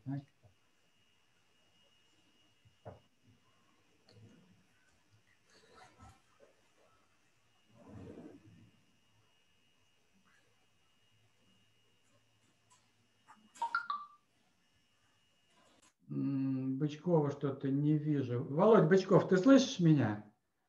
Включи, включись, пожалуйста. Ты, тебя не, и не видно, и не слышно. Я включил. А, и... Давай, мы тебя, ну, по крайней мере, тебя видим. Ты Я просто спрашиваю. У меня э, презентации нет, но есть PDF-файл, который я мог бы раскрыть. Как это сделать? Э, какой? PDF или что? Какой? PDF, да. Он у меня на этом... Запусти его в Adobe Acrobat и выбери с экрана. Тебе все равно презентацию. Демонстрацию экрана. Запусти сначала его в Adobe Acrobat. Сейчас э, открою. PDF открываю. Так, открыл. А теперь А что? вот теперь иди в демонстрацию экрана. Мгм. Сейчас иду в демонстрацию экрана. Закрыть. Демонстрацию экрана. И выбирай твой PDF-файл, который ты открыл. Ага, понятно. У нас э, с Федором Сергеевичем Зайцевым короткое, э, э, к- короткое, скажем так, сообщение, которое, скорее всего, является основной идеей. Это хорошо, что короткое. Спасибо. Ну вот. Мы э, в свое время выпустили книгу, я выпустил статью, в которой говорится, что если считать, что шаровая молния – это эфирное образование, и в нем энергия такая же, как э, может быть, как которая излучает самый мощный лазер, то тогда плотность, э, плотность эфира получается порядка э, 10, э, 10 э, минус шестой килограмм на метр кубический.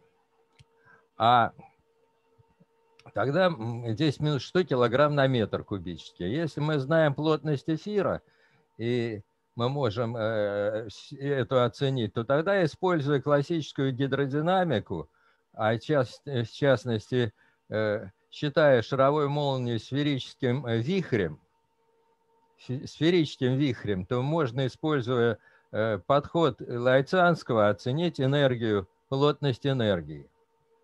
Плотность энергии для средней шаровой молнии оказывается, если мы используем э, 1,6 на 10 минус 6 килограмм на метр кубический, получается плотность энергии такого э, шарообразного вихря порядка, получается 1,1 на 10 в 11 э, джоуля на метр кубический. Но э, с учетом того, что при взаимодействии шаровой молнии не вся ее кинетическая энергия может переходить э, к объекту, значит, можно сказать, что шаровая молния, э, э, то есть энергия или плотность энергии шаровой молнии близко к э, наблюдаемым аномальным значениям плотности энергии. А дальше идет идея, которая родилась у Федора Сергеевича из совместной работы и совместной работы э, с Зайцевым, э, с Владимиром Александровичем. Из экспериментов известно, что Лерн сопровождается появлением заметных кратеров на поверхности электрода или кластера. Теория объясняет, вот была сделана теория э, и представлена у нас на с- семинарии в Рудене, объясняет образование каверн взрывным освобождением энергии Лерн э, в двойниковых границах, которая в зависимости от мощности взрыва может приводить э, к разрушению двойниковых границ. Многие двойниковые границы имеют форму колодца с выходом на поверхность вещества. Основываясь на поведении газа около ствола при взрыве из пушки и близости уравнений аэродинамики и механики эфира, можно заключить, что на выходе э, двойниковой границы образуется вихревой эфирный объект в форме тора или, ветери- э, или э, веретена. Объект в эфире может быть гораздо более устойчивым, чем в воздухе, так как эффекты вязкости, самодиффузии, теплопроводности в эфире являются крайне малыми по сравнению э, с аналогичными эффектами в веществе. Ну вот, теперь дальше. Извините, я у меня- у меня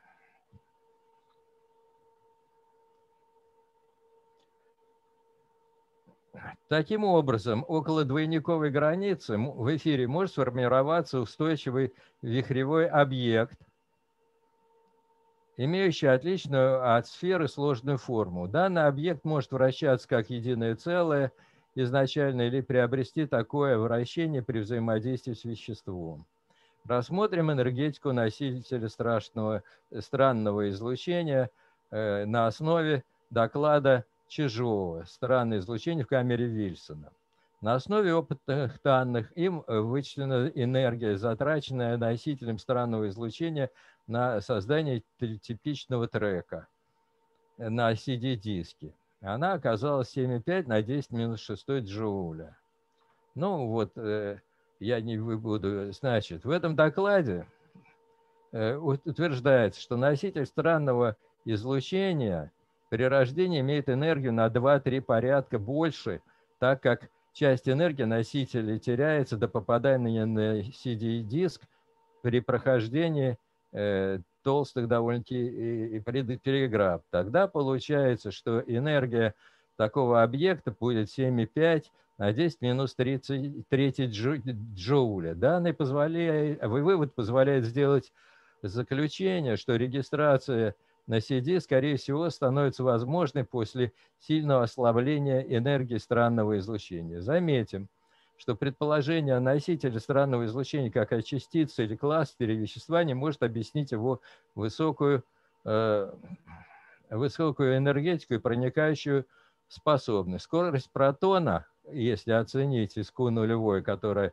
получается из измерений э, чужого, получается, что она равняется 4,2 на 10 12 метров в секунду, превышает на 4 порядка скорость света, что вряд ли может иметь место, так как двойниковые границы отсутствуют условия для сообщения протону гиперсветовой скорости. Энергия может обладать движущейся со скоростью света кластер с массой 10 восьмой масс протонов. Но прохождение э, такого кластера через металлические преграды, имевшиеся в эксперименте, вряд ли реально. Начальная плотность энергии носителя, э, плотность уже, плотность энергии носителя странного э, излучения, рассчитанная на, по воздействию на CD-диск без учета потерь при прохождении промежуточных материалов равняется 1,8 на 10 в 11 джоуль на метр кубический. Эта величина близка по порядку величины к плотности энергии шаровой молнии. Такое соответствие энергетики, помимо привлечения аналогии с образованием вихря при выстреле из пушки, является дополнительным поводом для трактовки носителя странного излучения как вихревого объекта в эфире. Понимание носителя странного излучения как вихря в эфире позволяет объяснить наблюдаемые в опыте проникая, наблюдаемые в опыте проникающую способность, необычные треки, их появление спустя э, некоторое время после а, окончания эксперимента. Соответствие шаровой молнии э, дает основание считать, что большая часть энергии э, носителя странного излучения запасена во вращении эфирного вихря, а не в его поступательном движении. Образование треков можно объяснить воздействием э, эфирного вихря, обладающего высокой энергией, со структурными элементами вещества. Сложная форма треков может возникать при относительно малой скорости поступательного движения вихря, в этом случае взаимодействие, э, взаимодействие с преградой, вихрь может резко менять направление движения по аналогии, по аналогии с отражением вращающегося объекта от препятствий. Необычный вид треков может быть также связан э, с вращением вихря как единого целого или его а, а, э, отличие от э, сфероида формы. Вихревой эфирный объект может проникать в вещество, прежде чем он может начать взаимодействовать с ним. Это раскрывает причины наблюдаемых внутри вещества треков странного излучения. Регистрация странного излучения после окончания возбуждения рабочего вещества в реакторе может связана быть с продолжением реакции э, э, двойниковой границы или длительным существованием э, эфирных вихревых облаков вблизи объекта, имеющих малую скорость поступательного движения. Спонтанность интенсивности Э, э, странного излучения на длительном промежутке времени смотри, может быть обусловлено на наложениях многих факторов, в том числе случайных, лавинообразный проект активации э, двойниковой границы, разрушение части двойниковой границы, образование новых двойниковых границ разнообразные внешние условия. Спасибо за внимание. Спасибо, Владимир Львович. Я хочу сказать, что вот сейчас наверняка, э, Володь, снимай свою эту презентацию. Ага. Там красную кнопочку нажми, найди у себя на экране зума красную кнопку. Ну, сейчас вот. поищу, где она у меня. Так, сначала я и это закрою. Извини. Да не надо это закрыть. А вот все, ты выключил, молодец. Я просто хочу сказать, что природа устроена хитрее, чем мы с вами устроены. Она допускает все процессы, все, все мыслимые и немыслимые. Поэтому может быть и то, что мы сейчас вот только что услышали о, от Бычкова может иметь место, и то, что мы слышали от Чижова, тоже может иметь место. И не нужно думать, что только тот процесс, который я там или кто-то еще придумал, только он и имеет место. Друзья, мы уже серьезно перебрали, но я попробую все-таки тоже пару слов сказать по теме. По теме. Бычков немножко не в тему. Я свою демонстрацию попробую включить. Так, вот я ее включил. Валер, а не перенести ли нам обсуждение еще на следующее, так сказать, заседание? А вот чтобы, я это хотел. Чтобы не, не, не комкать. А я не, не обсуждение, я сейчас вот что-то скажу, а вот обсуждение, давайте мы, может быть, действительно, только через раз, но это чуть попозже. Итак, вот я очень коротко, очень коротко, чтобы тут вот не занимать вас. Это рост осцилляции, у меня доклад, рост осцилляции температуры при электроподогреве никель-водородной среды во внешнем магнитном поле. Это компания Inlis. Вот здесь вот внизу такой красивенький значочек – Баранов Зателепин, красивенький значочек Дима Баранов нарисовал. Это, значит, наш э, логотип. А кто из вас инь? Это, ну, это хитрый вопрос, не знаю, так? Вот. Э, ну, хитрый, я подумаю. Итак, вот смотрите, вот так устроена э, типичная наша трубка. Ну, мы, мы 5 лет занимались никель-водородными реакторами. Мы меньше, конечно, чем Пархомов. Э, понаделали реакторов, но у нас тоже порядка э, порой тройку десятков этих реакторов. Вот так выглядит типичная трубочка, значит, ну, как мы ее называем. Вот здесь линейка, это примерно 30 сантиметров, примерно 4 сантиметра в диаметре. Это газоплотная керамическая трубка. Вот там, э, значит, концы заделаны таким образом, чтобы можно было водород подавать туда и регистрировать, и подавать электричество внутрь. Вот это э, со спиралью маленькая трубочка керамическая, внутри там этот никель, новодорожный предварительно, и вот и из вольфрама на, намотанная такая много, там порядка э, 10 Ом, что ли, вот, вот такая вот проволочная спиралька. Значит, вот э, наши эксперименты, мы, я хочу сказать, что мы, я всегда критиковал, или мы там всегда критиковали, когда на основе измерений только температуры делаются какие-то далеко идущие выводы о, э, об энергетике. Вот об этом отчасти мы сегодня и поговорим. Э, дело в том, что температура, энергия, и даже они э, имеют различные размерности, и делать из одного вывод о другом – это очень неосторожно. Вот типичный вид э, э, нашей установки для измерения энергии. Это вот утеплитель, такая большая коробка размером примерно метр на метр, а в ней внутри лежит другая коробка, вот поменьше, примерно 50 сантиметров на 50 сантиметров на 50. В ней мы помещаем вот эту нашу керамическую э, трубочку, как мы называем, с реактором. Э, вот так вот циркулирует вокруг этой, это называемой камерой нагрева, вот так циркулирует воздух, который нагнетается вот таким вот вентилятором, и э, сюда попадает воздух, прошедший, воздух охлаждает эту керамическую трубку, попадает вот в этот теплообменник, водовоздушный теплообменник, по которому протекает вот так вода, измеряя температуру, Э, мы как-то что-то можем сказать, хотя бы что-то можем сказать об энергии, потому что вошла значит, холодный воздух, а вышел горячий, он здесь охладился, и опять холодный пошел снова сюда. В эту камеру, сегодня мы увидим такой вот э, коротенький эксперимент, мы помещаем постоянный магнит. будем помещать, то помещать, то вынимать его. Вот на камера из нержавейки, слабомагнитной нержавейки. И вот на, наверх этой камеры на расстоянии примерно 10-12 сантиметров от трубочки у нас будет располагаться неодимовый магнит. Мы измеряли с помощью Э, приборов измеряли магнитное поле на краю неодимого магнита. Вот я Чижову сообщаю. Там никакие не, э, значит, не одна Тесла, а 0,2 Тесла. Вот у нас, по крайней мере, так было. Это, это точно. Одна десятая Тесла. Ну, у нас 0,2. Ну, в общем, ну, никак не одна. Так, вот это, значит, э, куда-то все время прогов... курсор, продав...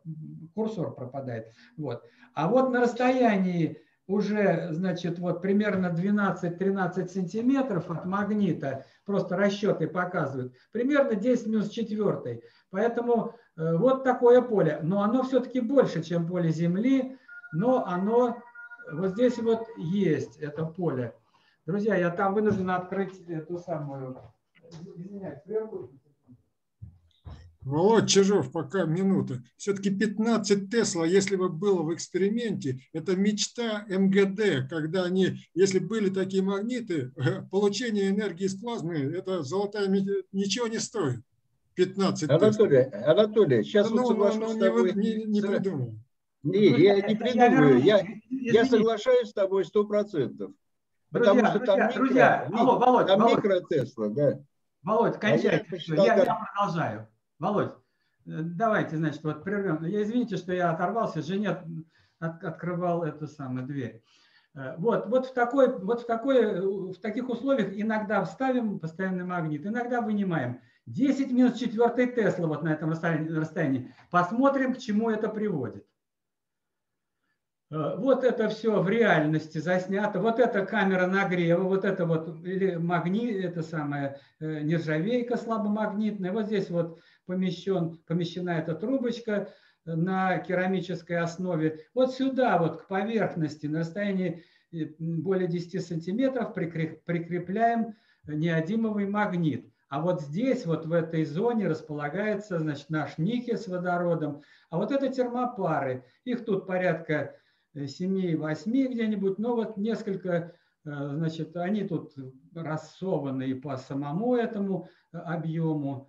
Э, вот посмотрим, что получается. Вот смотрите, вот э, график.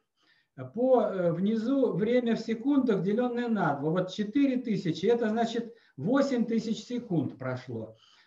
Вот 1000 секунд, это 1000, это значит 2000 секунд прошло. Самплинг одна за, в 2000, одна в 2 секунды, значит один самплинг.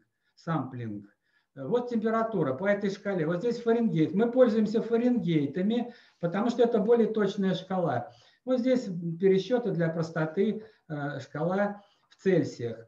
Значит, смотрите, мы э, начинаем с комнатной температуры, дальше э, мы включаем нагрев, температура растет, какой-то уровень достигли, дальше повышаем, включаем больший ток, подаем нагрева, и э, температура повышается, больший ток нагрева, больший ток нагрева, больший ток нагрева, больший ток нагрева, больший ток нагрева. Вот, вот здесь достигли примерно 450 градусов.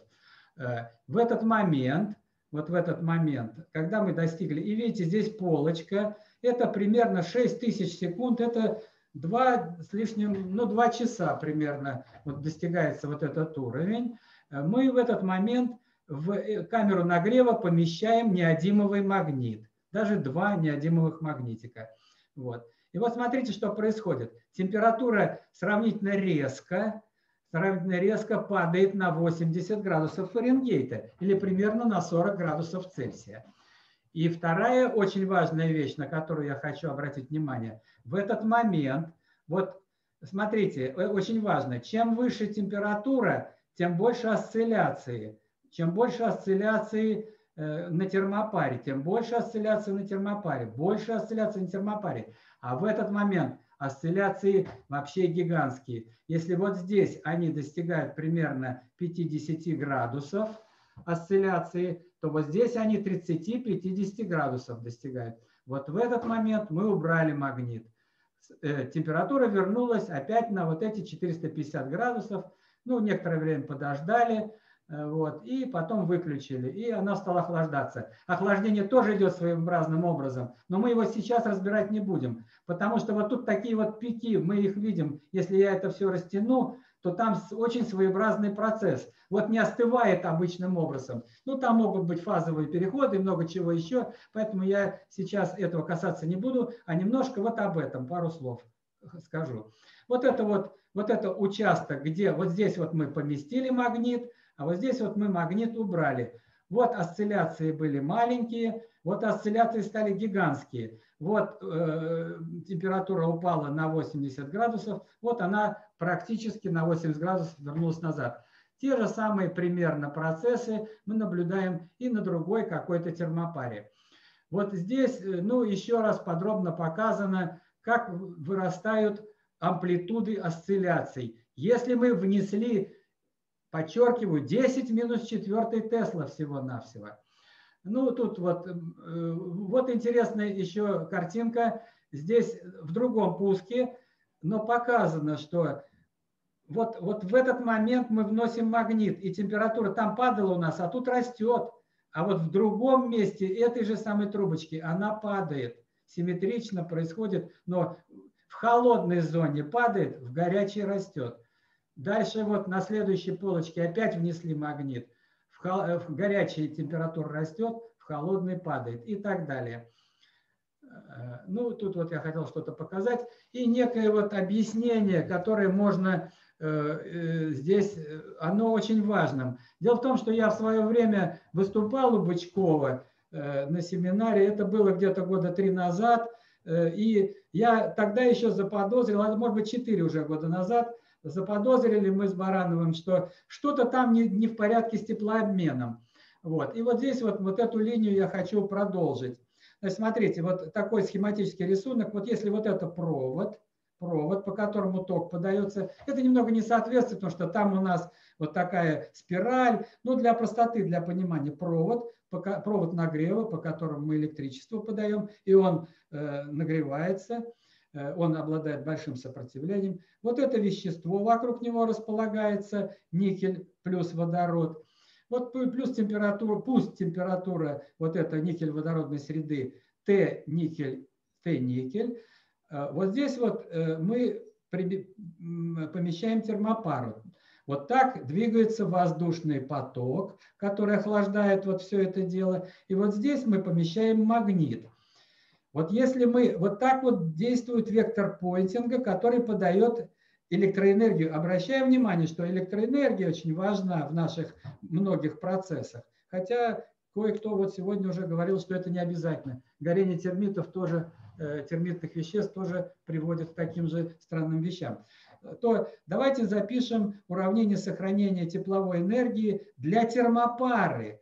Вот оно здесь написано что есть такое понятие у теплообмен, в теплообмене коэффициент теплоотдачи. Вот теплоотдачи. Я, мы, я здесь ни разу не видел, чтобы кто-то уравнение теплообмена написал. Я их вот второй раз пишу, один раз четыре года назад написал. Почему-то считается это ерунда, можно на пальцах. Что-то ничего на пальцах нельзя делать. Все надо записывать. Вот смотрите, коэффициент теплоотдачи, а вот это вот разность температур Т термопары минус Т воздуха. Вот, вот это охлаждающий член. Второй член, другой коэффициент теплоотдачи, это температура вещества, э, никеля, водородного вещества, минус температура термопары. Наоборот, нагрев происходит. Здесь вот, вот здесь, здесь минус, а здесь он вот здесь. Это нагрев происходит. И плюс давайте положим какой-то член, связанный с Е на H, вот с вектором Пойнтинга. Введем просто такой домысел. И э, если это полочка, то это все равно нулю, стационар. Отсюда мы получим температуру термопары. Она вот определяется такими, э, вот, таки, вот такой суммой, деленная на, э, на сумму тепла этих самых коэффициентов А1 и А2. Обращаем внимание, что мы почему-то считаем, что температура может меняться только если меняется подведенное тепло, верхняя часть. А вот я э, верхняя часть вот этого отношения. Обращаю внимание, что и нижняя часть этого отношения тоже, то есть коэффициенты теплообмена, если по каким-то причинам начинают меняться, то температура тоже начнет меняться. Измерять температуру – это совсем еще не означает измерять энергию. Вот надо это запомнить навсегда. Вот. Ну и вот еще раз напомню про эти, э, про эти осцилляции. Нету времени, к сожалению, надо еще, еще к этому обращаться. Делаю выводы. Показания термопары зависят не только от температуры объекта, но и от температуры э, объема, на который подается энергия, но и от коэффициента теплоотдачи между термопарой и окружающей средой. Коэффициент теплоотдачи зависит от электрического и магнитного поля. Мы это только что вам показывали э, экспериментально. Термопара для работы в электромагнитном поле должна быть специально, дополнительно калибрована. Вот это такой довольно важный вывод я делаю. Спасибо, я закончил. Э, вот. И э, ну, у нас сегодня, мы уже и так перебрали два с половиной часа. Климов руку поднял. Толь, ну, ну скажи, пожалуйста, что ты хочешь сказать? А? Включи, включи свой микрофон. Анатолий Иванович, включай свой микрофон. Ждем твоего выступления. Ты что-то хотел сказать? В формуле теплоты есть теплоемкость. Она зависит от температуры, поэтому нужно считать через энтальпию. Олег, Олег, это Олег, Олег, да. Олег, вы не правы, теплоемкость на, на полочку не влияет. Я сейчас не хочу делать это самое, э, это, как это, дискуссию. Валер, Валер, я предлагал, я поднял руку, чтобы еще раз напомнить, что давайте обсуждение не комкать и перенесем на, след, на следующий раз, так сказать. Ну, важная вот, вещь. Э, ну, мы тогда, вещь, мы тогда, Толь, Толь, я тебя понял, мы тогда, э, значит, с Климовым Анатолием Ивановичем дополнительно обсудим, потому что у нас уже есть выступающие на следующий раз, но может быть, действительно, поскольку еще все будет свежо, то в следующий раз сделать обсуждение. Поэтому, друзья, готовьтесь, вот у нас будет видео вот этого всего дела, я всем разошлю, и к, к следующему э, нашему семинару, который будет через неделю, еще раз его посмотрите, и мы тогда еще два часа э, здесь поговорим и пообсуждаем. Вот, вот, вот это, наверное... Анатолий, э, согласен с тобой, что там 0,5 Теслы, который я наборку сделал. Спасибо тебе за замечание. Ну, хорошо, ладно. Это, но это не, не суть важно. На поверхности это, неодимового это, магнита, но, на поверхности это, больше но, Теслы. Но это, для, но, но это для эксперимента, понимаешь? Это не э, давай, на расчет. У нас уже перебор, Володя, у нас уже перебор. Олег. Все, все, все.